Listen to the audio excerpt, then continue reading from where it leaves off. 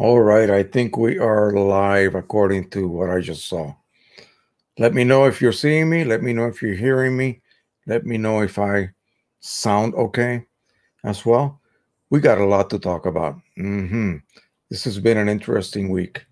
Right now, it's finally sunny outside. It's been raining for the last few days, and the temperature is supposed to go up to almost 75 degrees Fahrenheit today. So, so far, we have a few people already on board. Xbox 199 from Germany, Heidelberg, I believe. He's got a Pro 1000. Great. I'm glad you're here because we're going to be talking and talking and talking about the Pro 1000. Yeah, I love that printer, don't get me wrong, but it does demand a lot from the user. All right, so Come on, folks. Let me know if you are able to hear me. Right now, I have Michael from Connecticut, Cavalier from Connecticut, USA, and myself. Just the two of you with me. Antonio Biggio is here. Um, PHVFX Copenhagen. Uh, Richard is here. He's from LA. He's got a Pro 1000. And again, we're getting some people here finally. That's good. Um, blank, black screen. I don't know why you're seeing a black, blank screen. Let me check YouTube. Make sure that we are actually live on YouTube as well. I usually don't watch YouTube because of this problem sure that we are. Yeah, we are. We are okay. We're okay. Always delayed in YouTube by about 10 seconds. From if I do this, you're going to see that 10 seconds later. The same thing happens with TV broadcasts. All righty, let's see who else we got here. Antonio says, Yes, I hear. Richard says, uh, from LA, of course. Um, Michael, I don't know what was wrong, but it should be okay. I just checked myself. I could see myself on YouTube.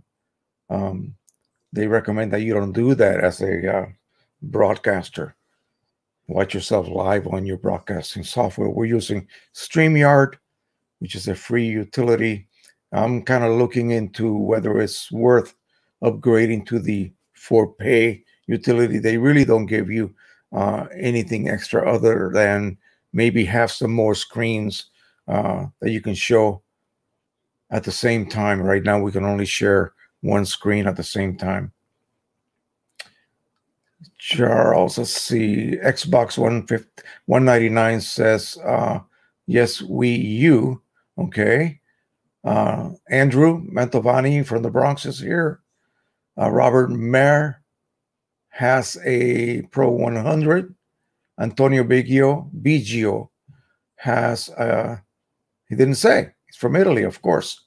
Uh, Scott from New Mexico is here. I'm going up because I miss a few of you. Uh, Badger Tales, you from Wisconsin by any chance? Uh, let's see, Sassy 1987. Sarah from the UK has a Pro 2000. Awesome. Awesome. Um, whatever we discuss about the Pro 1000 tonight, that'll apply as well for the 2100 brand new uh, upgrade to that printer. Uh, all of this will apply to that. Michael says everything's okay right now. Michael Cavalier has an Epson PA100. Awesome. Sammy Castro, 13, Detroit, Michigan. Peter Yorth, uh, Peter from Copenhagen. Pro 10 just moved to my home and about to set it up. All right, good luck. Sexy Pro 1000 owner, that's Crypto Time Lord. He has a Pro 1000. Great. I'm glad all you Pro 1000 lovers are here. Okay. We got one more here. Glenn Goldstein, Canon G3200 mega tanks. Okay, I'm not too familiar with those. You also have a uh, Pro 100. Now, I'm going to go ahead and remove the banner. I don't think we need that anymore. We know who we are already.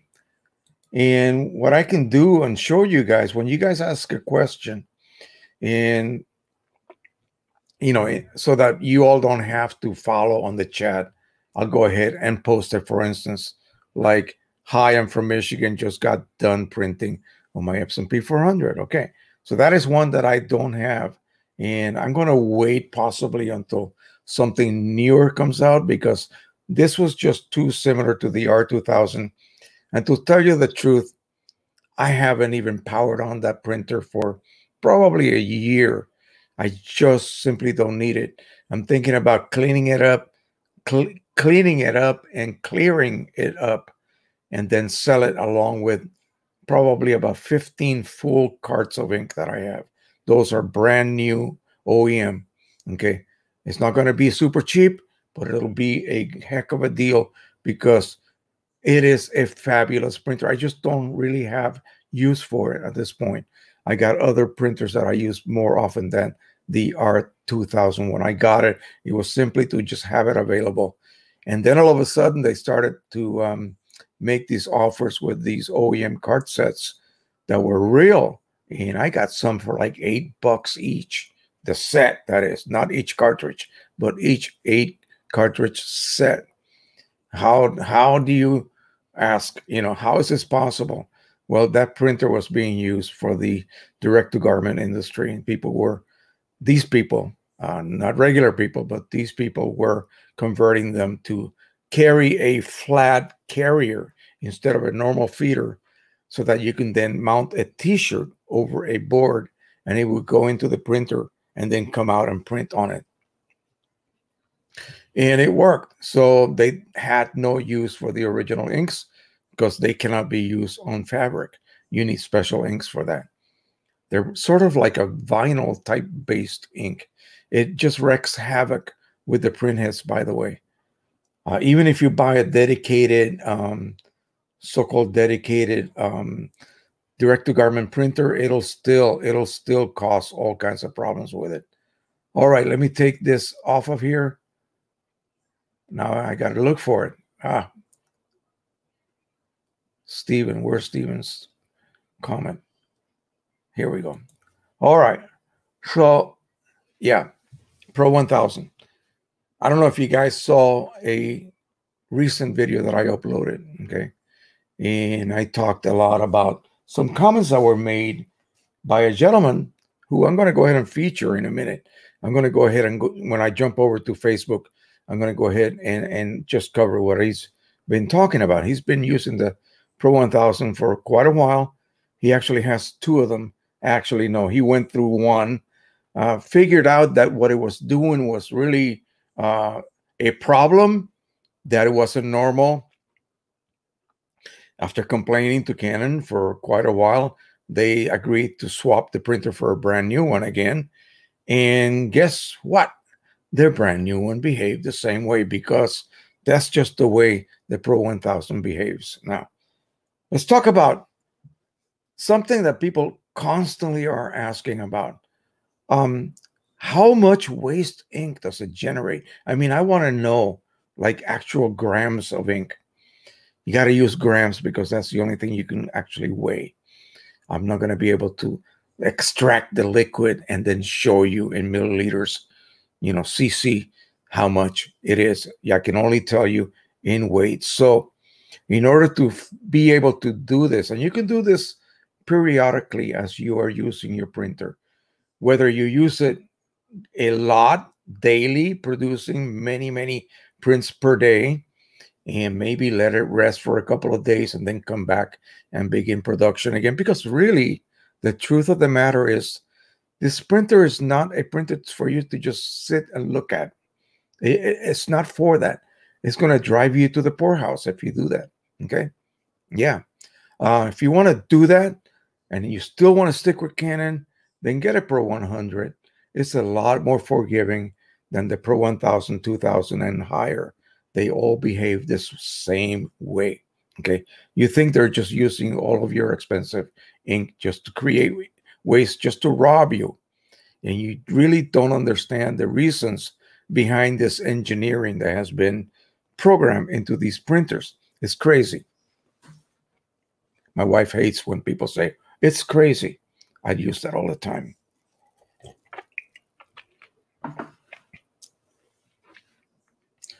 Um,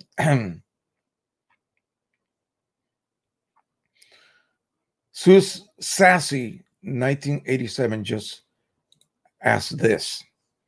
And the answer is yeah. Although I don't have one, they use the same print head, they use the same print engine. It's just physically a larger capacity printer, the same ink set, different types of cartridges, yes, but still the same printer basically. Okay. What the Pro 1000 produces, the 2000 will produce pretty much identically as long as you calibrate both printers internally so that they output correctly. So, yeah, yeah, they will, you know, if you're not ready for this behavior or, or the idiosyncrasies of this printer, you're going to be pissed. Okay. And you're going to go like, why the hell did I buy this? Well, research, my friends. And that's what I'm here for to give you guys, you know, at least what I am aware of and what others have shared with me about these printers. So, an empty, brand new maintenance cartridge. Hold on. Where did I put it at? Boom, boom, boom. Now I can't find it. Oh, right here in front of me. Right here. Brand new. You can see that the the little sponge there is nice and clean. This weighs using a gram scale such as this. This is a uh, 0 to 500, I believe, gram scale. Very accurate. I managed to get a weight after repeated attempts of about 277 point something. So I called it 278. So we're going to go ahead and do that. 278 is what we're going to call it. And I'm setting up my calculator here. And so as you are printing and as you hear and basically feel and hear and see that your printer is not immediately printing, it's performing some actions that you just cannot understand what they are. Let me try to describe some of these actions that you will hear, and you will then mistakenly call them cleaning cycles when in reality they are not. Okay, so say you haven't used, like I haven't, okay, I'm just as guilty as anyone else, but I have learned to live with it. My Pro 1000 probably hasn't been used for about a week and a half, okay? I did a bunch of prints that are back here recently on it. I wanted to test whether it could handle slightly curly paper cut from a roll. So I cut some paper and ran it through it. I made probably like, I don't know, seven um, what were they? Um, 17 by 25, the limit for that printer with the current, not updated firmware. And it handled it. It handled it well. I was I was shocked at first because I thought the unstableness of the paper would would play havoc with it. But the transport mechanism of the Pro 1000 is simply superb. So it handled it just right. so what people are saying about you know, updating the firmware and then being able to cut off, you know, 47 inch long sheets of paper from a roll, that may actually work. I was worried about skewing and that sort of thing, but just make sure that your edges are perfect right angles to the leading edge so that the printer registers it perfectly to begin with. And that way your treble will remain straight rather than gradually being skewed toward one side or the other. That will cause all kinds of problems. Anyway, so I wanted to know how much ink was being used because when I started up the printer after another fairly lengthy break of no action, uh, although I've been kind of trying to do nozzle checks, but I have 13 printers to do that with. And sometimes I use QImage, the automated type purge uh, sheet printing, but quite often I, I turn QImage off or I reboot my computer and I forget to set everything up. So that printer sat for a while. It performed this. the first thing it does, you hear a pumping action. It's like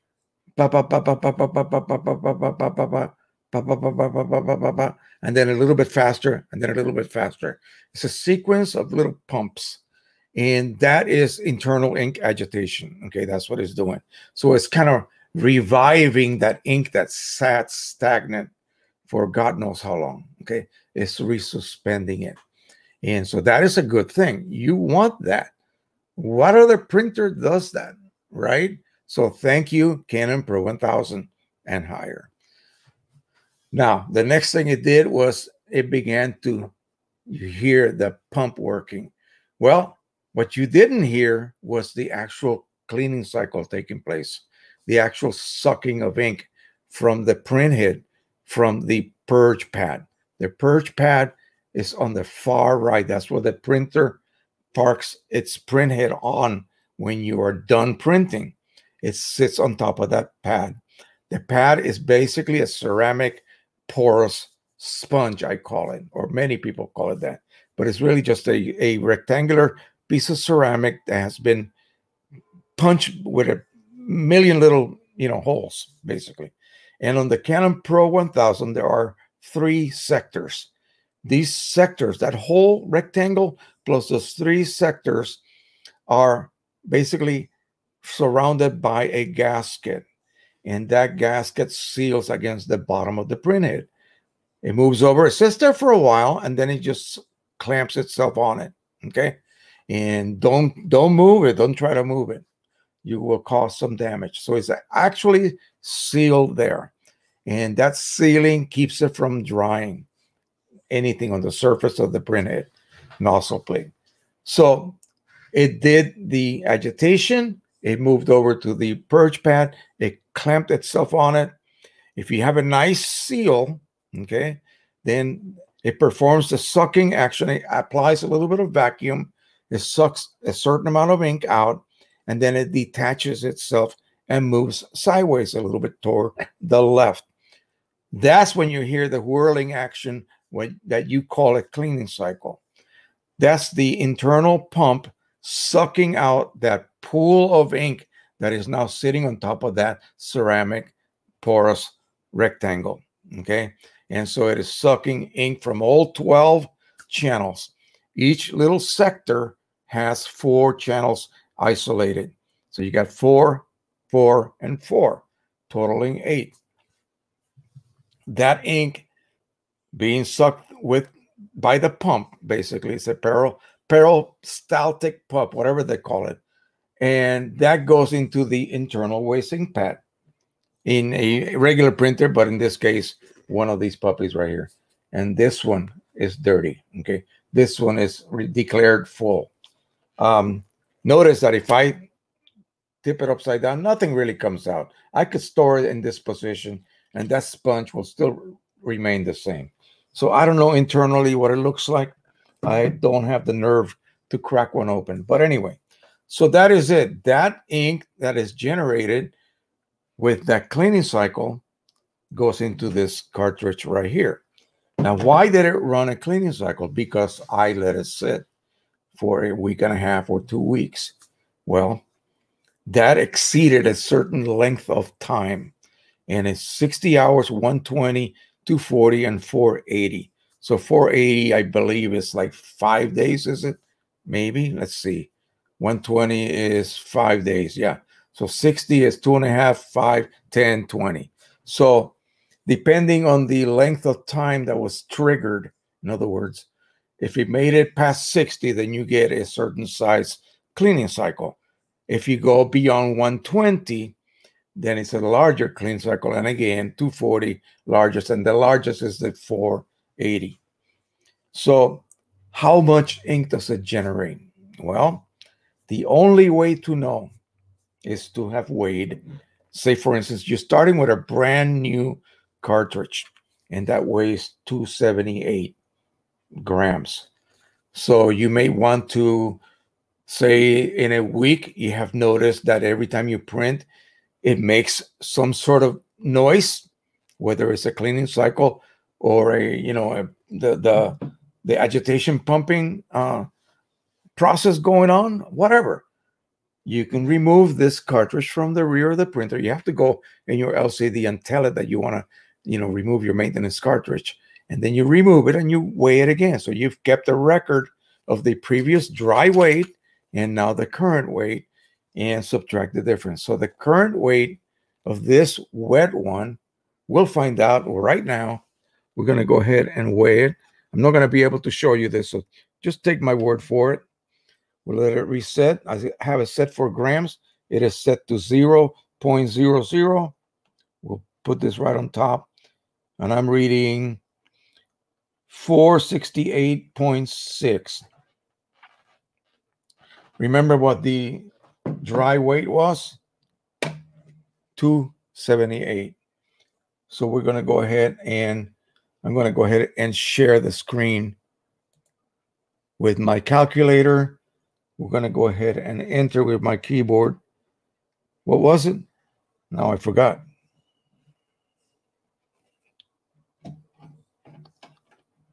All right, let's try this again.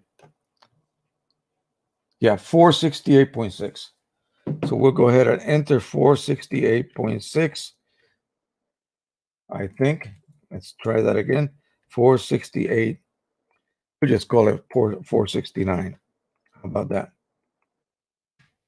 And we're going to subtract 278. So that gives you 191 grams of ink currently live inside that cartridge.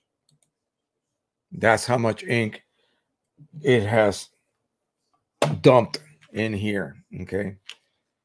Keep in mind, one cartridge is 80 milliliters of ink. So that's about two plus something full cartridges of ink in that um, waste ink cartridge. That's really not a lot these things can hold. Okay. So you're going to probably be changing these relatively um, frequently if you are printing a lot. And you say, wait a minute, you say, if you are printing a lot, I thought printing a lot reduced the cleaning cycles. No, I hate to tell you, but it does not. It actually increases the cleaning cycles, but it increases them because it needs to. So, as I said in my video the other day, the timed cleaning cycles are pretty much etched in stone. So, let me just give you a scenario like somebody just said, Well, I'll just run nozzle checks. Well, a nozzle check, you may have seen them before. I have one here somewhere. Probably uses a fraction, I mean, a fraction of a milliliter of ink total to print it. So, say you run one every week and you think you're exercising your printers, you know, keeping it nice and happy and clear. Well, you are in a way. But because you're doing it only every seven days, say every Sunday evening, and you really haven't printed for the last four or five weeks, all you've been doing is running a cleaning cycle. Even if you did it every three days, you still exceeded that 60 hour. So it's going to run a cleaning cycle pretty much every time you run a nozzle check. Okay. And that cleaning cycle uses milliliters of ink total not just a fraction like the you know like the uh, nozzle check does, but several milliliters. The only way, like I said, is for you to you you hear it, you you know you print your nozzle check, check the weight of this, and then compare it to three days ago, and that'll tell you exactly how much ink has been dumped in there. And you still don't know because there's some ink probably left in the lines leading to this from the purge pump. So it's not an exact science, but it will tell you approximately close enough for government work, as I say, how much ink has been wasted on that cleaning cycle. So, what else could trigger this kind of cleaning? Well, even when you are printing a lot, and especially when you are printing a lot, it actually has to do it. It's a thermal printing process. I've said I've said this a million times. People are yelling at me, "Why are you rehashing this stuff?" don't people know already eh, all about this this behavior? I said, no, apparently not, because every week I get I get barraged by questions and literally angry people, you know, maligning the printer because it's robbing them of their expensive ink. Okay. So apparently they're not hearing what I am putting out. So every couple of months I have to revisit the same subject. Well, you're printing a lot. You're creating, for instance, let's just say a bunch of 17 by 22 beautiful prints on some gorgeous watercolor or texture type fine art paper. So this requires a higher level of density of ink. So you're going to actually be using more ink than you would normally use, say, on a luster paper print. So you're using, you know, a pretty good amount of ink, and you feel really happy that at least finally you're producing what? Photos, prints. That's what the printer is made for. It's not made to look at. It's made to make, you know, beautiful prints for you. So you create all of these prints and say you use I don't know, six, seven milliliters of ink per print total. Well, that amounts to a really, you know, good amount of ink. Oh, you're using ink. Oh God. No, I don't want to use my ink. It costs too much. Too bad. Yeah, too bad. That's what the printer is for. Okay. So you're producing inks. Say you use a total of 100 milliliters of ink in your batch of prints. Well, let me tell you what's going to happen if you're printing large prints like that that require con continuous printing for 22 inches length of paper, that's going to create residue. If I get a griddle on my kitchen, my stove top, and I put a little bit of butter and I, you know, two slices of bread with a slice of cheese inside and I make myself a grilled cheese. Both sides, when I remove that bread, there's some residue being left on the pan. Okay, that's what happens. You're exploding, boiling, if you will, ink that is made from glycol and pigment particles and other agents. Okay, is going to create and build up a continuous increase of whatever this residue is. And that's why maybe after the third or fourth large print, the printer's going to stop before it allows you to create another print in your batch of, say, 50 17 by 22s, like every four or five prints, it's going to run a cleaning cycle. But you say, why? I'm printing. My nozzles should be clear. No, they're becoming clogged. Makes no sense, right? Yes, they're becoming clogged because of this buildup. Okay. And so that has to be exhausted out, it has to be flushed out. So cleaning cycle comes into play. It has nothing to do with your 60 hours, 120 hours, nothing whatsoever to do with that. It just happens. Why? Because it has to. If it doesn't, then the the printhead will become damaged because of the process it utilizes. And it's not just these families of printers. Okay. I believe also the old HP large format photo printers, thermal printheads. That's why they were made to be user replaceable. Okay.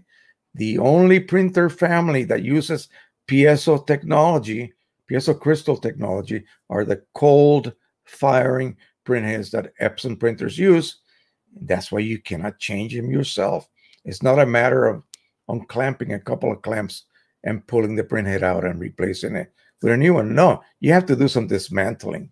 You better know what you're doing. Then you have to reprogram it. Yeah, indeed. You have to. So, you know, Canon printers are wonderful.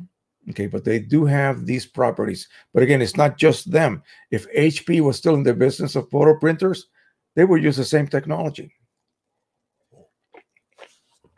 I really don't know whether Epson has a patent on these types of printheads, the cold firing printheads. You can abuse the living crap out of them, and you know they they will take the abuse, whereas thermal printheads simply cannot cannot. Let me show you the simplest simplest kind of thermal printhead there is. Hold on.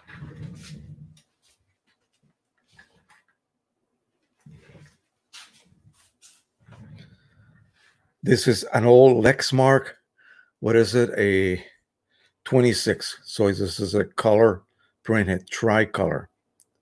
Okay, magenta, yellow, cyan. Um, a lot of the older Lexmark printers used them. My primary disc, Primera disc printer uses these. Okay, they use these. Actually, they use the same. Well, long story. They charge fifty dollars for their cartridge, even though it's a twenty dollar cartridge. But they put a barcode down here that is read by the printer sensor. Long story for that. We're not going to get into that. But these are thermal print heads as well. Every time you change a cartridge, you're changing the print head. So the print heads actually come with the cartridge. And old HP printers use the same type of technology. Now, now they do not. Now you have print heads that you can actually remove and replace. So yeah, these these types of print heads are made to self-destruct themselves. And that's what is happening. Every time you print, oh, should I be telling you this? Oh gosh. Every time you print on a Canon printhead, you are self-destructing. It is self-destructing itself. Okay. The higher end printers from Canon have more nozzles than they actually use in any one time. They they call them redundant nozzles. I don't know what the numbers are. I just know that there are many. Okay. So as they are being burnt out through your misuse or just the process itself, they're constantly being replaced by these other non-used or redundant nozzles. It's an automatic um, procedure. That's why you have to set your your uh, LCD um, properties to auto detect. Okay, that that situation. That way, it can just immediately on the fly replace a nozzle that may not be performing optimally. It just replaces it. That way, you don't even notice what's happening when you are printing. At some point, one of those 12 channels will no longer have sufficient nozzles. It'll just run out of them. And it'll keep on printing until one of those remaining sets, whatever that number happens to be, uh, starts going bad. That's it. You'll get a printhead error and you have to install a new printhead. Okay. Whether the other eight or 12 or 11 or 2000, I don't care. Yeah, you know what I mean. If the other 11 are still okay, if one or two are bad on one other channel and you don't have any more nozzles to replace those, that's the end of the printhead. How long does it take to do that? Well, like I said, the more you print, the faster this this happens. So you might say, well, hell, I won't print so much anymore. Well, then you'll waste a lot of ink. Okay, that's it. You will be wasting more ink than you put on paper is that the ratio will be incredibly against you. Okay. The people who print a lot, the ratio of ink on paper might be 10 to 1. You use mostly all of your ink to create prints. I hope you're selling them. If you're just printing for fun, yeah, this might not be the type of printer you want to use for your hobby work because you're just going to be spending money.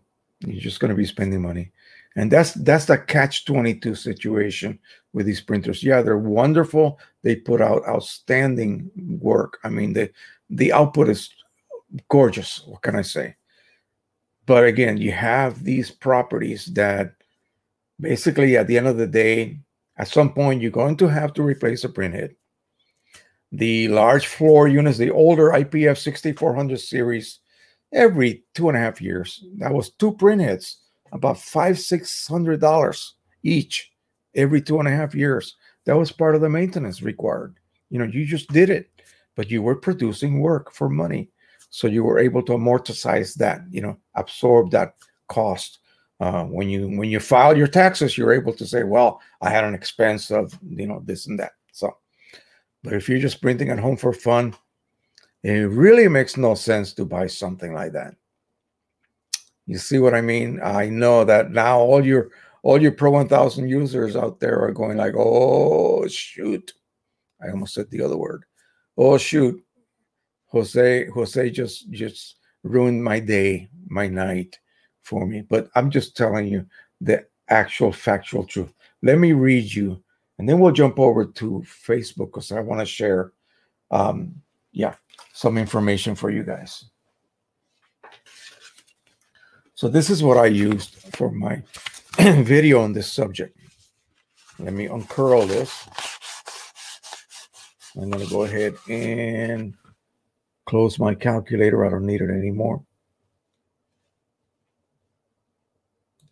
We'll go ahead and close that up. Alrighty. We're going to set up. Uh, I think I had.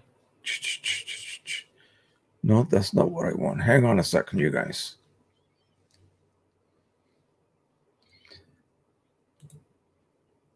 I'm using my little monitor here that's connected via um, HDMI. Yeah, that's what I want. Gosh, I can't even find it now. Here we go. Okay. Let me get my Facebook up.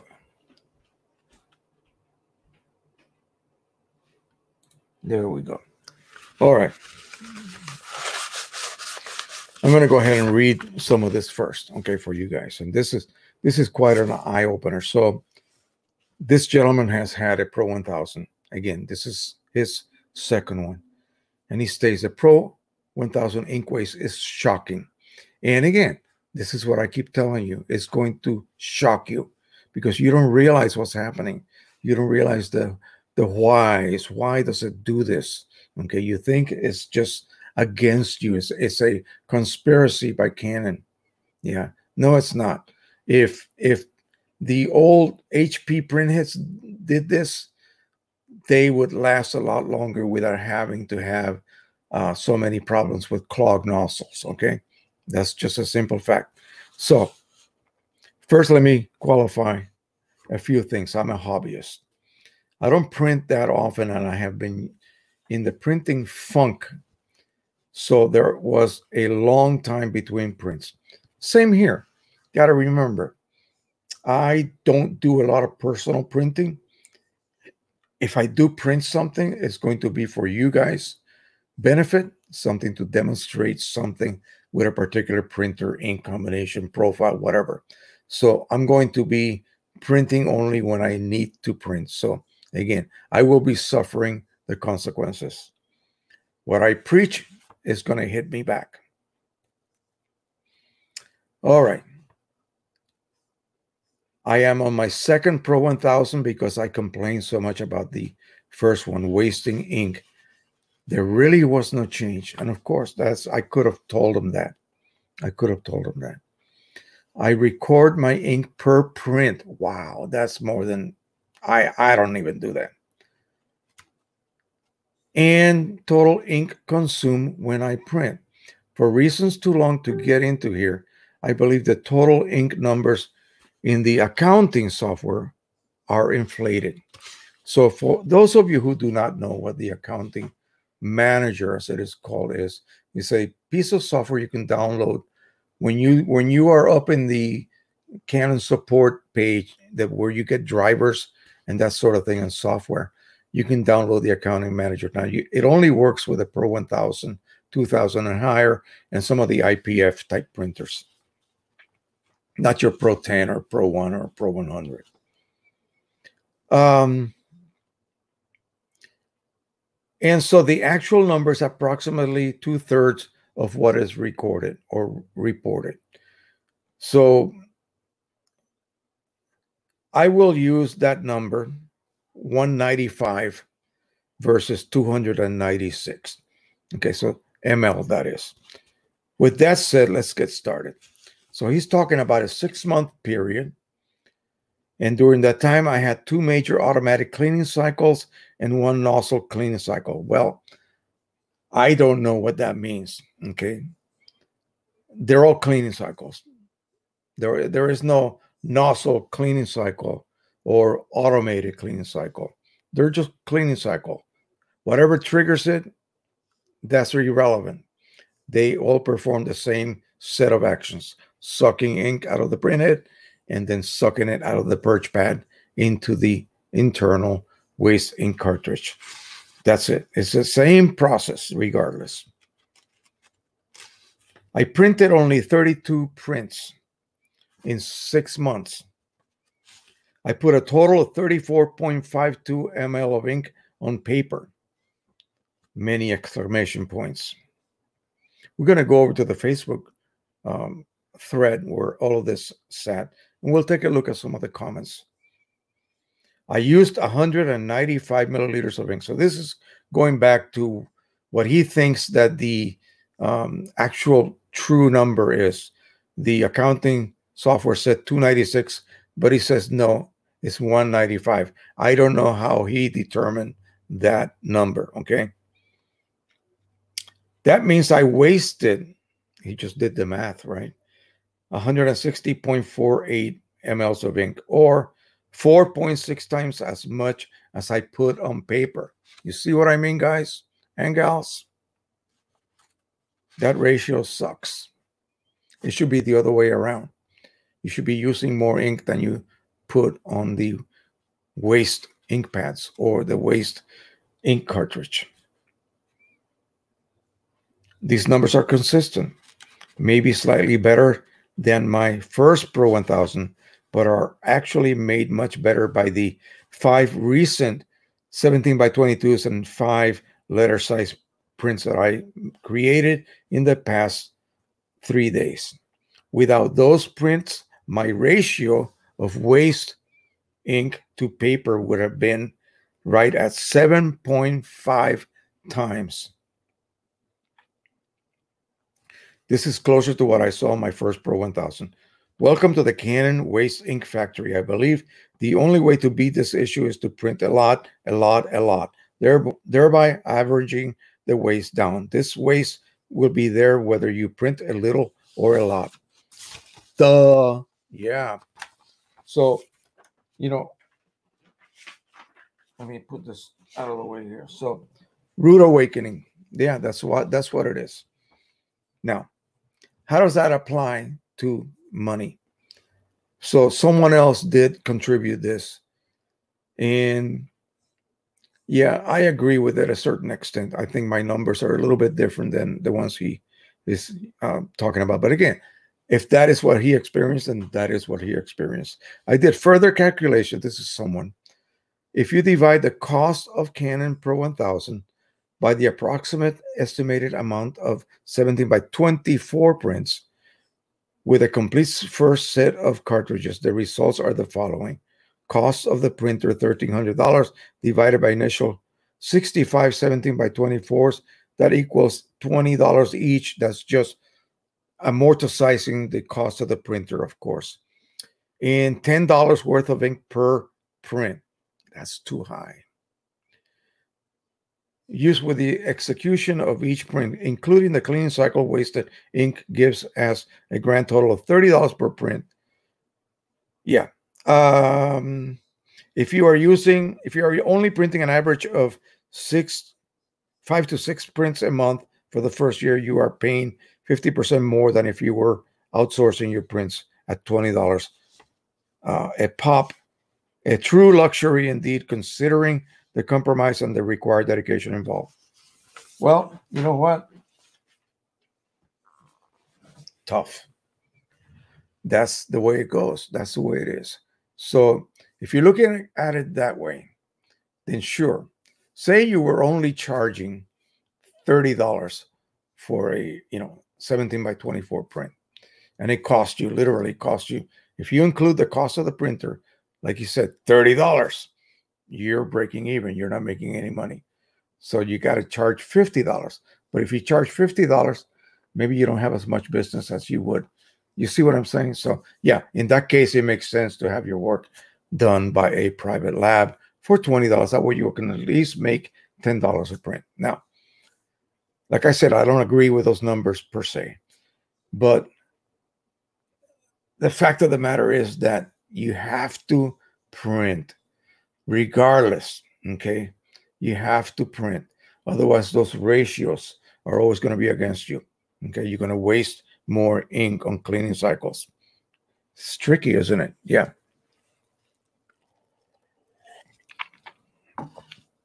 So, what should I do? Well, either don't complain, accept all of this, and enjoy the hell out of that printer because it is an amazing piece of tech.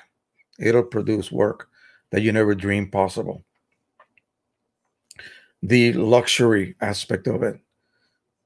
Think about it this way I have a Costco right up the road, not even three quarters of a mile. The biggest pain in the neck would be parking and you know getting in the store. But anyway, once I'm there, I can go over to the printing department and have them make me whatever print size I want. Okay, they have huge Epson printers there, and they charge a really reasonable amount for a print. And I can probably go eat a hot dog and come back, and my job is done. And then I can tell them, hey, listen, can you change this or that? Yeah. Well, some places will charge you for that, you know, second attempt because they feel that they provided you with what you provided them. Okay. So that can be a, bit of an inconvenience. Okay. So what do you choose to do? Well, you can always sit back at home and send your file to New York to some camera store that does printing and have them printed and then they have to ship it to you. It's going to take about 3 days each each transaction and hopefully you will love what you get. But I had a gentleman come back to me and basically see at the beginning of that video, I said, if you are happy with your Pro 1000 or 2000, any of those families, and you know what you are getting into, you know what to expect and accept, then stop watching this video right now. Don't even bother. Please go watch another one of my videos, of course. Don't leave the channel, but you don't need to watch this video because this video is not for you. This video is for the ones who are thinking they may have a Pro 100 and they go, you know what? Gosh, I would love to make a 17 by 25 or with a new firmware 17 by 47 inches. Ah, I need to get a Pro 1000. Those are the people I'm targeting. You already know somewhat the way the Pro 100 behaves. They do the same thing. It's just not as, you know, acute as the Pro 1000 does because they uses dye inks. Dye inks don't develop that much residue. So you will probably not get these between batches of prints cleaning cycle that's then added to the timed cleaning cycles already. The time period for the Pro 10 is 120 hours. That's five whole days. You can print day one, get a cleaning cycle. Okay, fine.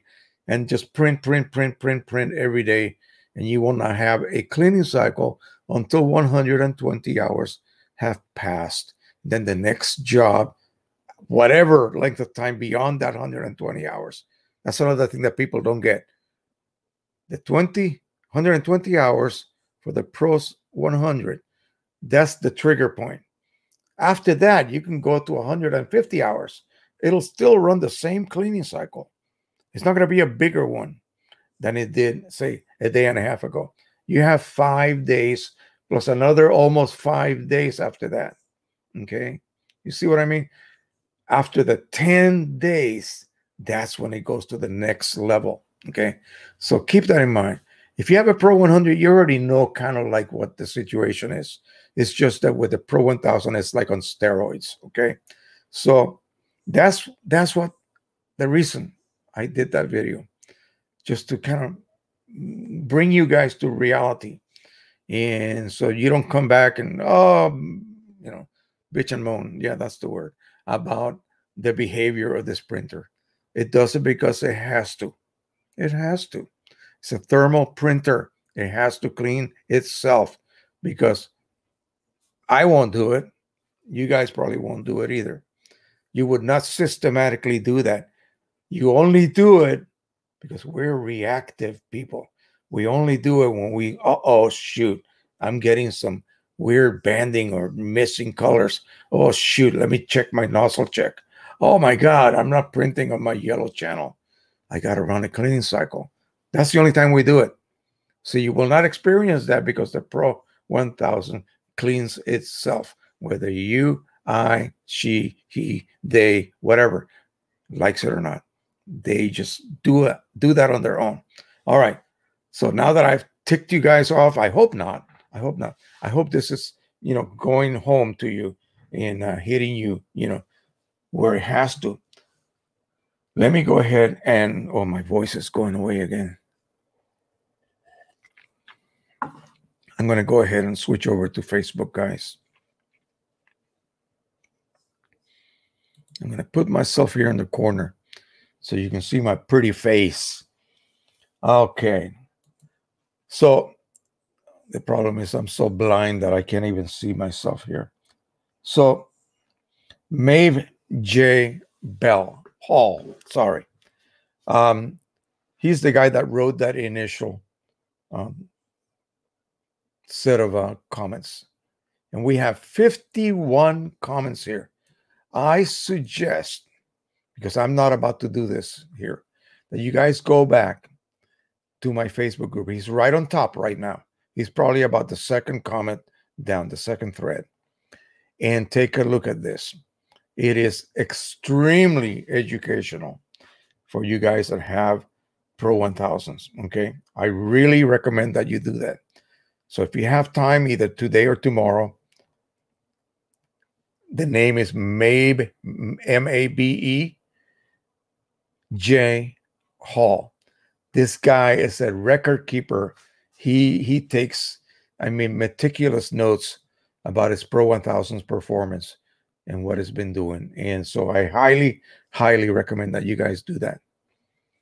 All right. So that is that. I don't want to get too heavy into that because I'll tell you it'll it'll drive you nuts. Let me go back to my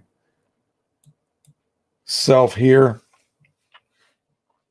Let me see. Now I'm going to go ahead and open up the floor to you guys for uh, questions. And I'm also going to throw this at you guys. If you have a camera like that one right there, let me touch it. Boom. And you have a microphone such as this, and they happen to be attached to your computer, I can have you join us live if you're willing to do that. Um, I was hoping that uh, Rusty Nelson was here tonight, but he doesn't seem to be. I don't see his name here because he owns the Pro 1000 and he actually has moved it from, I think, like California somewhere up to Philadelphia. He performed the actual move. He got it to re- revive itself uh, miraculously. I think he didn't use it for like a whole year. So, concerning that, and going back to my tirade about, you know, the balance that you have to keep because the only way you're going to save ink literally is to disconnect it and put it in a box and not use it. Then why did you get it? You see what I'm saying? The only way you're going to not use gasoline on your car is to keep it in your garage or your driveway and lock the keys up. You're never going to drive that car again. You won't use any gas, right? But you're not going to enjoy that automobile anymore because it'll just be sitting there parked. So the same thing applies to a printer. If you don't want to use any ink, plug, unplug it, put it back in a box, put it in your closet, put it in your basement somewhere don't use it, then what's the point? So these printers are meant to be used. They're meant for you to use ink. That ink has to be used, and then you have to choose. Well, what do I want to use my ink for? I want to make prints, right? Why why would I not have a printer if I wasn't going to make prints? I mean, look. This is what a printer is for, to make prints. And of course, I'm in a different situation here. I'm not making any money from these prints, okay? Indirectly, I'm making money, sure, through the you know the YouTube channel, but that has nothing to do with you know, specifically with these prints. This is only educational purposes. So you get this you get this printer getting tongue tied here and you say well i'm over the honeymoon period already okay? I, I, I am over that. Honey yes you're beautiful. Honey you're wonderful. And boy can you cook you know? But you're costing me too much money so i got to kind of put you on hold. And that's what people initially start doing. They don't realize that that's going to throw off that remember what Mabe was talking about? That that ratio okay? The ratio has to be at least one to one gosh that's still terrible but uh, not so bad. So if you can produce prints and you're still wasting as much money as you it costs you to create a print you're wasting on a you know main, maintaining ma- maintaining your printhead clean i hate that. I still hate that you know. I don't want to waste a dollar every time I use a dollar to make a print. You see, I want to I want to use ten dollars to make several prints and waste one dollar. See, now I got a 10 to 1 or 9 to 1 ratio. That's more favorable. And at the end of the day, I have 10 prints to show you. You see, whereas the other way, if I just run nozzle checks, I got nothing to show you. Well, I'm going to have a get together with my friends and then we're going to share our nozzle check results. You know, I'm going to do a show and we're going to feature our nozzle checks. All right. Who's going to come to something like that?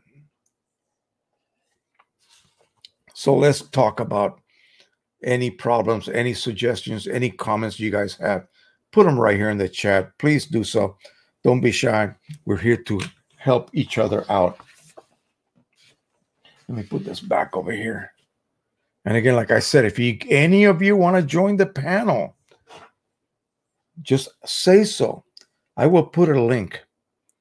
I'm going to put a link here. And anyone who has either a phone that can handle this, or again, you have already installed a a um, microphone and camera to your computer. So I'm going to go ahead and just continue on with the comments here. Then we're going to talk about refilling certain cartridges. Okay. Also, someone asked, they got into a huge discussion about proper way to harvest ink because one of the tricks to save money and maintain your quality and not have to switch over to a third party source, even if you're using refillable cartridges, like some Epson printers allow you to do so, and Canon printers allow you to refill their original cartridges. The best way to go, by the way. If you have a source of OEM ink in larger volumes, because there are printers that use exactly the same ink as the one you're trying to refill, then it's best to go with these larger cartridges you're not going to save a fortune, but you're going to save some money and you're going to maintain that top level quality. So we're going to talk about that. I'm going to, I got a bunch of stuff right here that I'm going to share with you guys. But let me go back and see who I missed.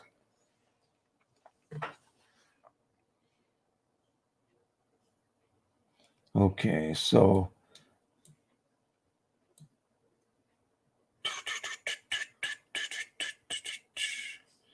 Okay, I think I left off with Glenn Goldstein and his G3200 Mega Tank. So that is a, a Canon printer, I believe, right? Uh, Precision Colors recently started to um, support those G tank printers.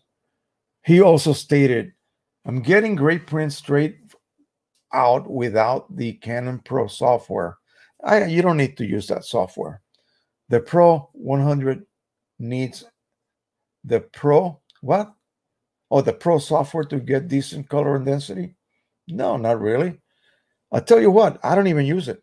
I don't use it whatsoever. I find it unnecessary. It has some pretty good layouts. The professional, the print pro, the print, what is it? Print Studio Pro uh, for the Pro 1000 is actually a higher level um, software than the one for the lower printers and it does have some uh, it has a separate layout utility that will allow you to uh, create better more accurate layouts in other words paper and image positioning. Um, but as far as color management, sure, it does it automatically for you. But I suggest you learn the process yourself. It's like a lab tech nowadays out of school. They only learn to use the instruments that perform these blood gas tests or or serology tests. They don't know how to do the assay by hand with you know test tubes and slides. They don't know how to do that. So if the machine breaks down, no more testing. You see what I mean? So learn the proper uh, workflow, if you will. Learn what an ICC profile is. Learn what it does. Learn how to use it manually. Learn not to rely on automatic type systems, okay? That I don't trust anyway.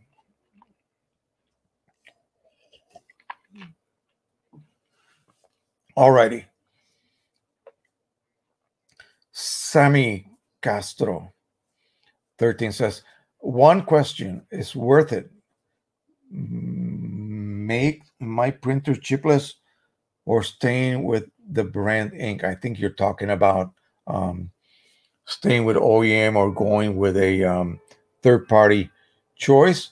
And you must be talking about the P800 because what other printer would be the one that's kind of locked out that would be photo based. Um, it depends. Yeah. Um, if you don't mind spending $60 a cartridge every once in a while, then yeah, you can stay with original cartridges, original inks. Uh, if not, you install the software. What it does, it allows you to then use refillable systems that would no longer be able to be used on the P800, except for just once. One time is all you get. And what happens is when the chip reaches empty on one of the eight cartridges or nine cartridges in the P800, once you get to the point where one of those colors reaches empty, according to the chip, in a foreign P800, not, not a North American zone one, this would work. You would remove the cartridge, fill it to the top, put the plug back in, pop it back into the printer, and it would reset itself to the full level.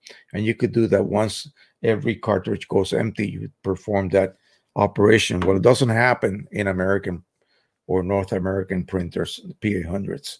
So what you would do, here's the here's the um, strategy. You get the P800. Yeah, you use your OEM colors until they're about half full remove them. Remember, we talked about this problem with the black ink switch locking yourself out. Okay. So you remove those cartridges about about half full. It's 50% level. Put them in a box and store them. You will need them at some point. You install the refillable cartridges, load it with the inks of your choice, and put it back in the printer. I'm using OEM inks. I buy my inks from large cartridges. I extract that ink and I fill my refillable cartridges with it. I'm getting away with a lower cost overall, but I'm still 100% quality. So I pop it back in. All cartridges are, are recognized as full and full level and also genuine. But then when one reaches empty, that resetting process will not occur. So now my only two choices, one is about $60 and the other one is $400. $400 one involves a chipless, uh, a not a chipless, a what they call a decoder, a chip decoder board that is basically a, a, a, circuit board that you wire internally to your printer. It hangs outside. It severs the communication from the printer to your actual chips on your cartridge. Mm-hmm. And then it just relies on the nine embedded chips that the board has and it allows you to perform up to 30 full global resets. Okay. Yeah. Not individual colors, but global. So when one level reaches empty, you press the button and it resets that one up to full and the other ones back up to full, regardless of what you know level they were at. And of course, you better top off all your cartridges at that point. Make sure that they all are full so that they match whatever the chip is now reporting.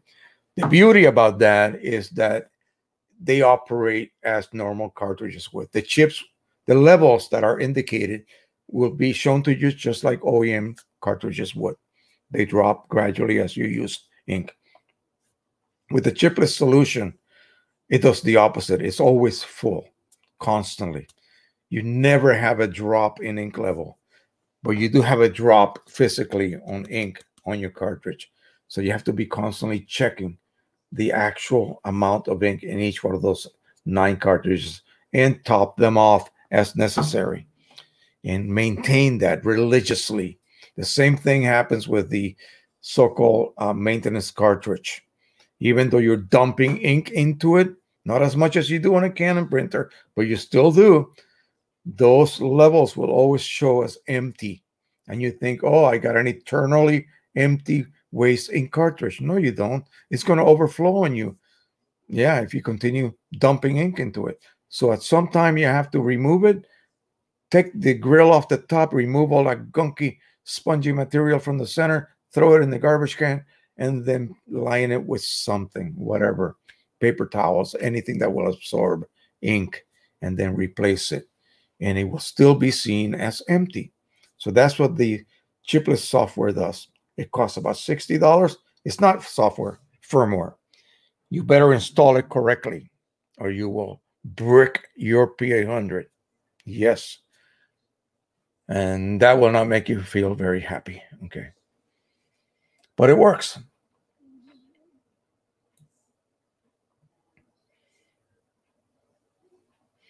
Harold Goldberg from Richmond, Virginia. And we answer Sassy's question about the Pro 1000 waste. Yeah, it does. It does. It does use ink for maintenance purposes as much as the Pro 1000. Yes. We're not going to call it waste because it's being put to good use, right? Cleaning your print head. Yeah. Ooh, okay. Roger Jones says, so what does it mean when the when your printer leaks or floods your desk with ink from the back right corner of the printer? That means that your internal ink pads are overfloated, overflooded. That means that they reached uh, saturation level and now you have ink all over your table. That's what happens. Luckily, most printers will reach a maximum count, an electronic count that will brick your building, basically your building. It will brick your printer, basically. It'll stop it from working any further. It'll just say that some parts in your printer have reached the you know end of their life basically and you have to replace them so that means a trip to the center to have it uh, service for you um, i don't know. I'm thinking that's what it may be. Uh, either that or you have a massive leak on your cartridges. I don't know. Um, it could be just about anything. So if you tell me what model then maybe i could shed some light. But um, you know you have to be specific with the models. Every every printer reacts differently. So you got to give the the person who you're asking uh, a question from the model of the printer so that they can give you specific information about that model because it could be anything steel busting biker hey ruko oh ruko all right so sitting here checking your live stream well good i'm, I'm glad Amos Canzoni, hello all. And Ted, Ted is here. He's from New Jersey. All righty. Preach, Jose, says Badger Tail. I try. I try, my friends. Dennis Bader, there's nothing wrong with reviewing everything without about printing. New people arrive all the time. Yeah, I know. Um, one of my biggest peeves with some of the channels my wife watches is that they rehash stuff all that all the time. And I said, well, why don't they just go back and you know look at the previous? Oh, people just don't do that. She said, we don't do that. We only look at the new new stuff. And I go like, then why do I bother? I I think I hit, gosh, was it fourteen hundred? I don't even know how many videos, fourteen hundred something videos at this point, and they're all in, in playlists. So you can just go back and look at my list of playlists and choose the subject, look inside there. Yeah, I know it takes time. It takes a little bit of work. Nobody wants to Google anything either anymore. So they'll come to me and ask me a question that I find on Google in about five seconds. Then I sort of sarcastically tell them, Oh, I searched Google for about five seconds and this is what I found for you. Here's the link. Hey, makes me feel a little bit better at that point, especially if I've had a bad day. Okay, Stephen King. He says, uh, I just purchased a Pro 1000 and love the print so far. Thanks for all your commentary on ink use. Yeah. Um, it is a hell of a printer. Let's talk about, I mean, let me see. How many more do we have here? And again, don't forget, just ask away. I just got a few more things I want to share with you guys. And, you know, even if we have to call it an early night, that's fine. Um, it's still bright outside. I want to get a couple of drone flights before the uh, weather turns south again tomorrow. Uh, let's see. But I want to make sure that I share what I plan to share with you guys. Steve King says, Oh, wait a minute. I just missed somebody. Dennis Bader, should I leave the printer on its default setting for cleaning cycle and set your own, say, 30 hours? I don't understand what you mean. You can't do that. You cannot change those settings. Should you leave your printer on its default? Yeah, there's no way to to that's that's embedded into the firmware. You cannot change that. For a dye-based printer, it's 120, 240, and 480. For a pigment-based printer, because it's more likely to create residue as it prints than a dye printer, then it's 60 hours, 120. So they they have it and they cut it in half. You only have two and a half days of sort of free printing, if you will, before the previous clean cycle and the next clean cycle. So 60 hours pass and you happen to print something, it's going to create a new cleaning cycle. Keep your printhead nice and clean for you. Your print will be flawless. You'll go, yay, look at this, mama, and show your print. And she'll go, wow, that's gorgeous. You're not going to complain about that cleaning cycle. Now, had it not done that cleaning cycle and you had stripes on your print, then you would and complain about it. I know that was sarcastic, but it's true. They do that clean cycle for, oh, my own good, and I'm the worst one, and everyone else is good. It does that. It has to.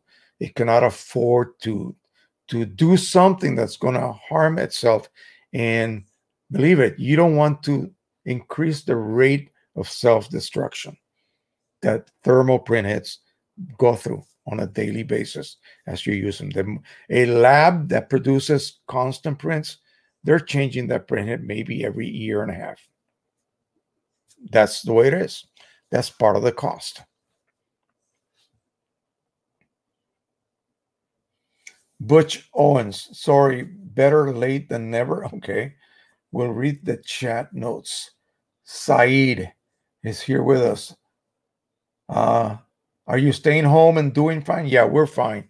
Uh, today we went out and uh, what did we do?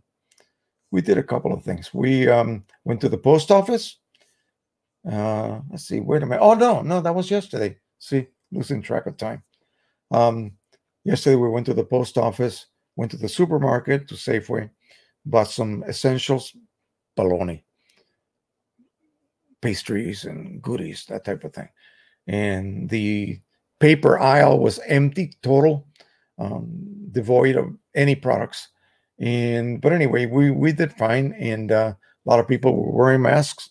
We were just staying away from folks. We all feel very well. We're um, relatively healthy, if you will. Um, and then what did we do afterwards? We went to the, the CVS, to the pharmacy, and bought some uh, kinesiology tape for my wife's arm. I tape her up every day or two and um, she has a problem with her uh, shoulder. And then we came home. That's it. And then I made a video and relaxed and watched some TV and flew my drone a little bit, and um, one of my drones. I have too many now, but anyway. So yeah, we've been we've been um, staying safe. Today we went and fed somebody who um, we have a friend who's a special needs person. He's in his seventies and uh, he lives in a in a um, like a housing system where it's for people with needs. And so we brought him some lasagna and a salad and a piece of apple pie and I sat with him a little bit and um, had a good time. And then I told him that next Saturday I'm going to come knocking at his door. We're going to go to the parking lot and fly my helicopter. That's what I call the drone for him. Um, he's um, somewhat bipolar and uh, he also has some physical disabilities, but he's a nice guy. So what can I say? Ah, Rusty Nelson is here. So let's go ahead and invite him in. What's up, big man? How's it going, Jose? Man, I just hey, I'm doing good. I just saw a video today about a um what is it called? The Unexplained. It's with um William Shatner. I don't know if you've seen that show. They no, it was about, a Pro 1000. Yeah, no, no, no, no, no, no, no, no, no, no. no. About tornadoes, storm chasers. Oh yeah, yeah, yeah. Get in that uh, soon. Yeah, they have Michio.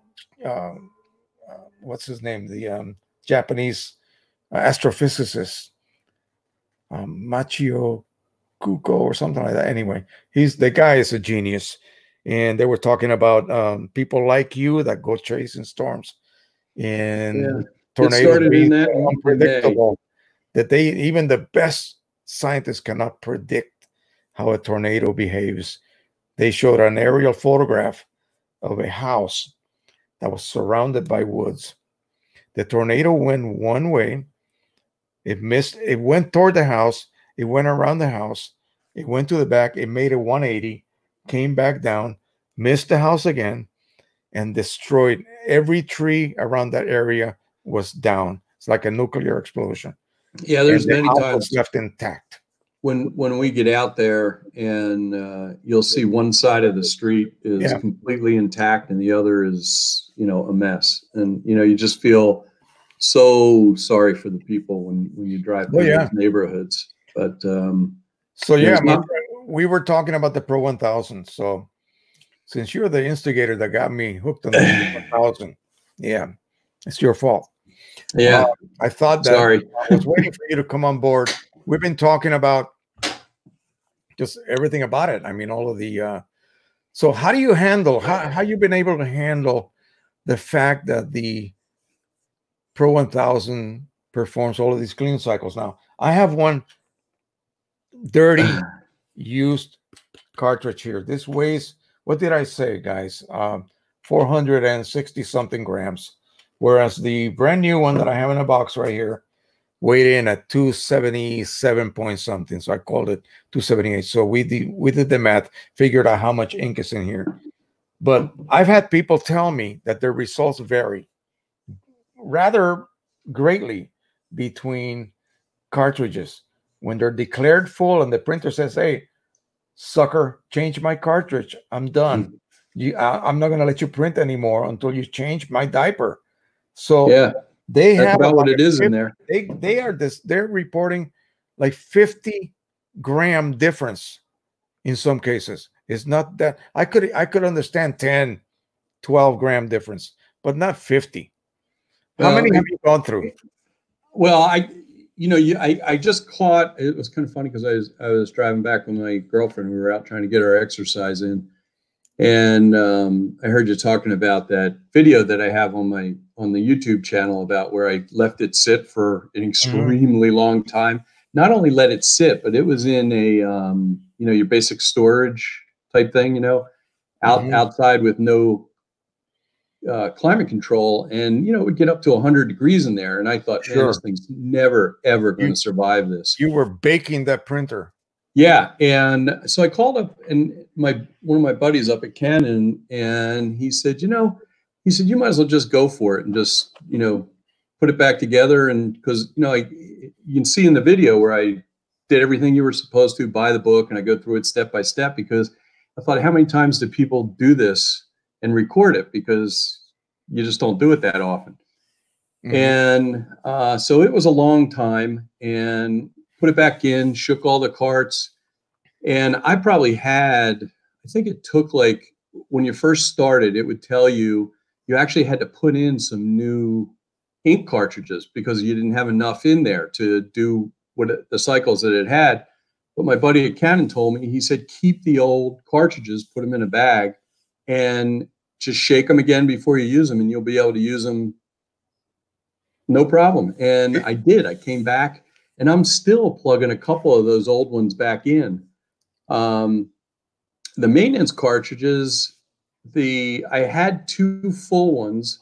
I kept all of them, and I had two that were partway done and I've kept those. So I'm going to see whether I can plug those back in. Now, luckily, those are only 20 so bucks a piece or something that, like that. When you performed the emptying out of the printer, is that what you did? Yeah, I did. I you did, did per the book, the transport, you know, do the full transport. So how, do, how does it handle that? Does it does it allow you to remove the existing cartridges? Of yeah, because yeah, because you know you can take like notes. I think I'm trying to remember. I mean, it was two years ago, but mm-hmm. it was um, it tells you that if there's not enough ink in one of them, it's going to tell you to pull it and put a full ink cartridge in. So it's going to use up some of that ink. But that ink that you pulled out, that maybe there's 25% left, mm-hmm. you can go right back in. And when that other yellow empties, you can put that back in. And I let mine sit for, well, you'll see in the video, it's like some yeah. of them are over 15 months. Some um, people have actually, I had a guy that told me he found a Pro 1000 for like a few hundred dollars. It was ridiculously low used. Uh, they checked the print count. It was only like 200 sheets have been put through it. Hmm. And he was able to unplug it off the wall. He did not perform that. And he drove 110 miles. He and his buddy brought it out nice and level, put it in his car, and he drove and he got it home. He plugged it back in after he positioned it in his new area, whatever, and cranked it back up. And it did a clean cycle, did a nozzle check, everything was fine. So he was able to transport it. I mean, not sideways, obviously, but he kept it nice and level and flat. Yeah, I, I mean, two things like you, you talk. obviously, you, you do a lot with refilling and stuff. And the only thing that I sometimes think about, I use all OEM inks. Um, and, you know, sometimes I think about doing the, getting one of the larger cartridges from the 2000, 4000 series and, you know, using ink out of that, but I never do for the 1000. But, um, you know, I kind of have a philosophy about it might be a little bit different. I, I used to race exactly, exactly, because it is cheaper. There's no doubt about that. There, there's no doubt about that. You save money. Um, this is, this is I don't 25. Yeah, I don't do I don't do this quote for a living, although I do make custom prints for some people very seldom, but um, this is a hobby and I kind of people ask me about it and I say it's I used to race sailboats when I lived out in California. And I had my own boat and you would spend all kinds of money on sails and blueprinting the bottom of the boat and feeding the right crew to keep them on board. And when you got all done, you would get a trophy and a T-shirt and something else. And I was racing guys that some of them were at the Olympic level. Mm-hmm. So, but when you got all done, you had the best time in the world. It was a great hobby. You loved it, and as long as you could afford, and you didn't put yourself into bankruptcy buying sails, you never look back. And I kind of look at that for myself. And I'm not saying it's right or wrong or or or whatever, but I don't print a ton and I, I I print what I call wall hangers only. You know, mm. something that I'm going to be I'm going to put on a wall. Yeah. But to, to get there, it may take me 10 prints, you know, of, you know, just I'm a pixel peeper, so dot peeker peeper. Um, you know, and I just like it perfect. And so for me, I kind of liken it to the sailboat racing. It's my hobby that I've taken up um, after I got out of the Hollywood thing.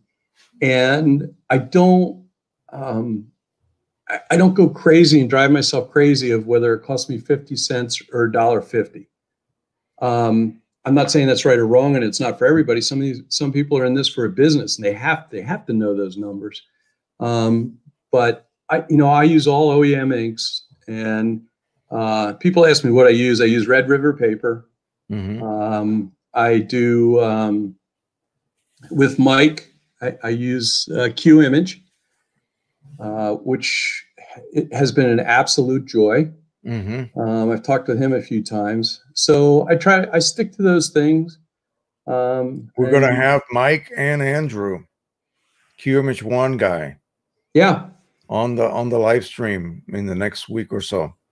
yeah, So that's Really be good to talk dedicated just for Qimage users and questions about Qimage, what it does, what it can't do, what it can do, what it does better than anything else, all of those sort of things. And yeah. And I may go. I- may go. I may go two or three weeks without printing. You Yeah. know, like I said, all my printers are Canons. I have a 9120, a 1000, and a 4000. yeah, And um, you know, I'm in the gallery a few times a week, and I will use Qimage. A lot of people say, "Oh, I just print a nozzle check every once in a while." I use their purge. They call it a purge. yeah, it's unclog tool. Right, and it's great. It prints out a nice pattern. Um, Yeah. and and that's pretty much all that I use. Uh, I do realize that pattern is not just any combination of light. right. Yes. That has been engineered by Mike, okay? And it does the most amazing job in say you're running into a few nozzles that would not warrant a full cleaning cycle because you'll waste quite a bit of ink just to, you know, clear up a couple of little anomalies with a few nozzles. You just run that and that does the job at a fraction of the ink you would have done you would have used doing a full cleaning cycle. And as you all know, being a Pro 1000 and Pro 4000, I hate you, uh, owner, I sold my boat to get that. printhead, printhead is zoned, right?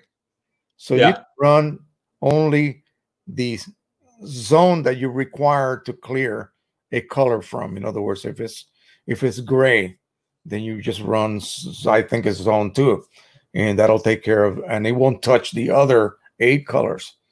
So you're able to systematically choose a particular zone and just run a clean cycle to affect that one channel without wasting ink.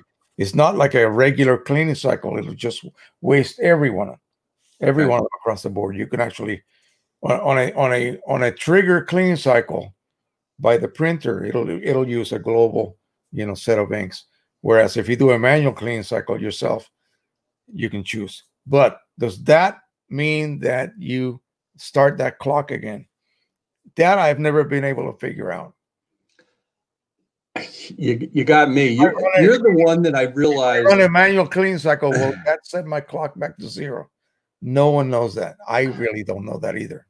But I, I'm not going. I can't fret. I can't. Yeah. My mind will explode if I if I start thinking about that. And I I listen to you. Um, you know, I learned. I always wondered as I heard the different sounds start uh, when it would start up.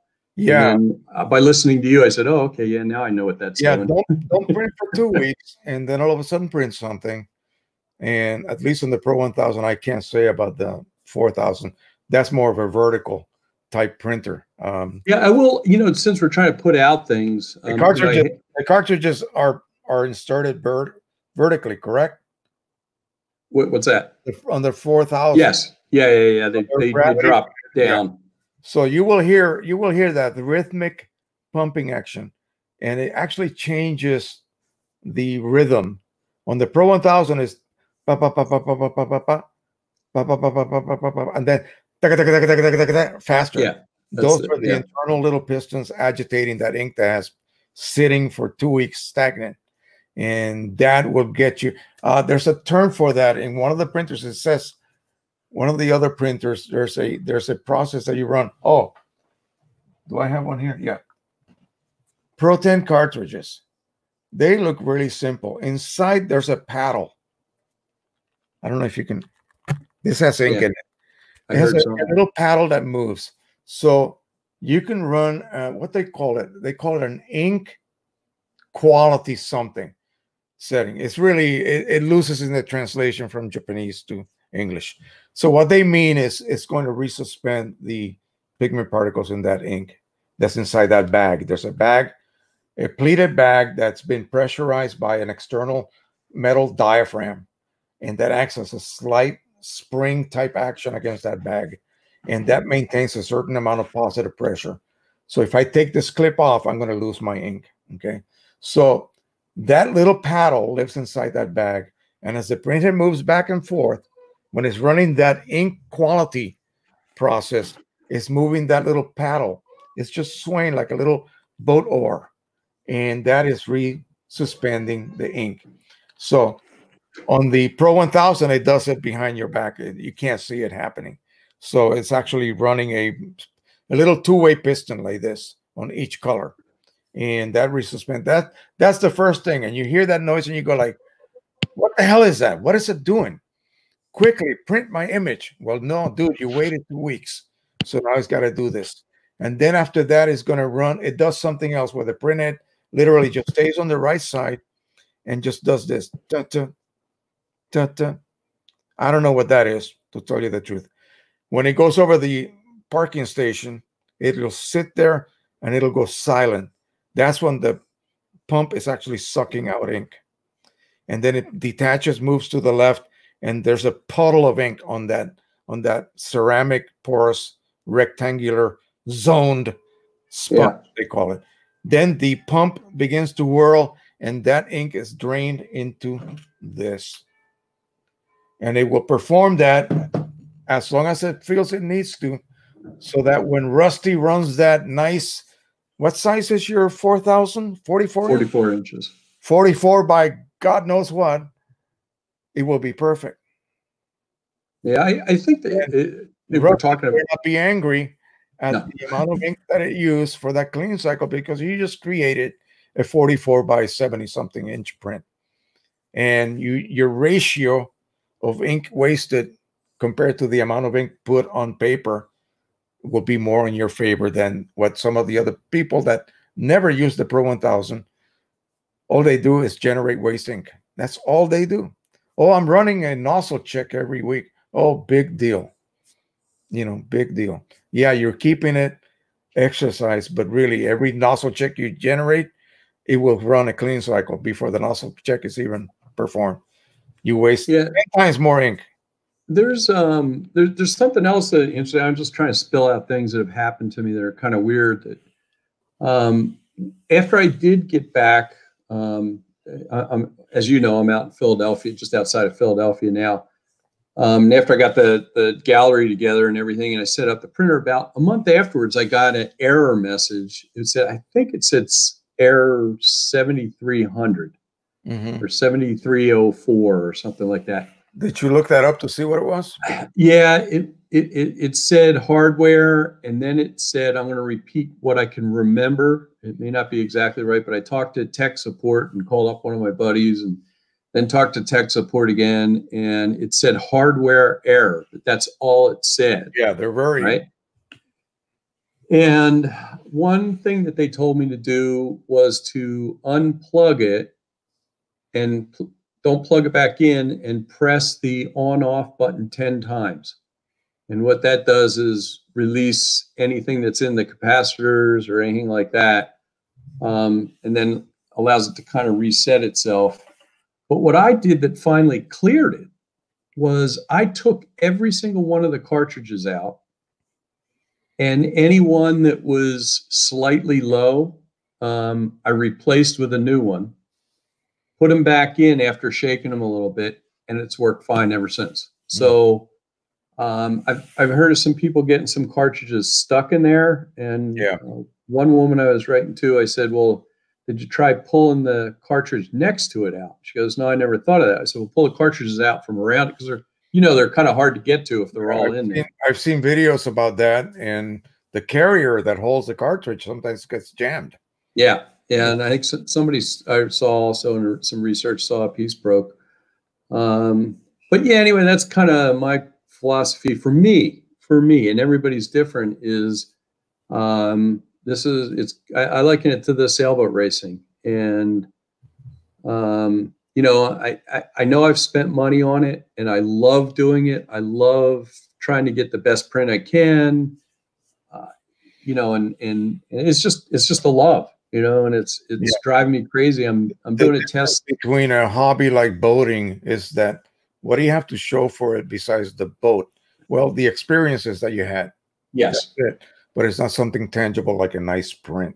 So yeah, I, why do I you do, huh? People ask me, why do you print? Dude, are you kidding me? Look. Yeah, yeah, yeah.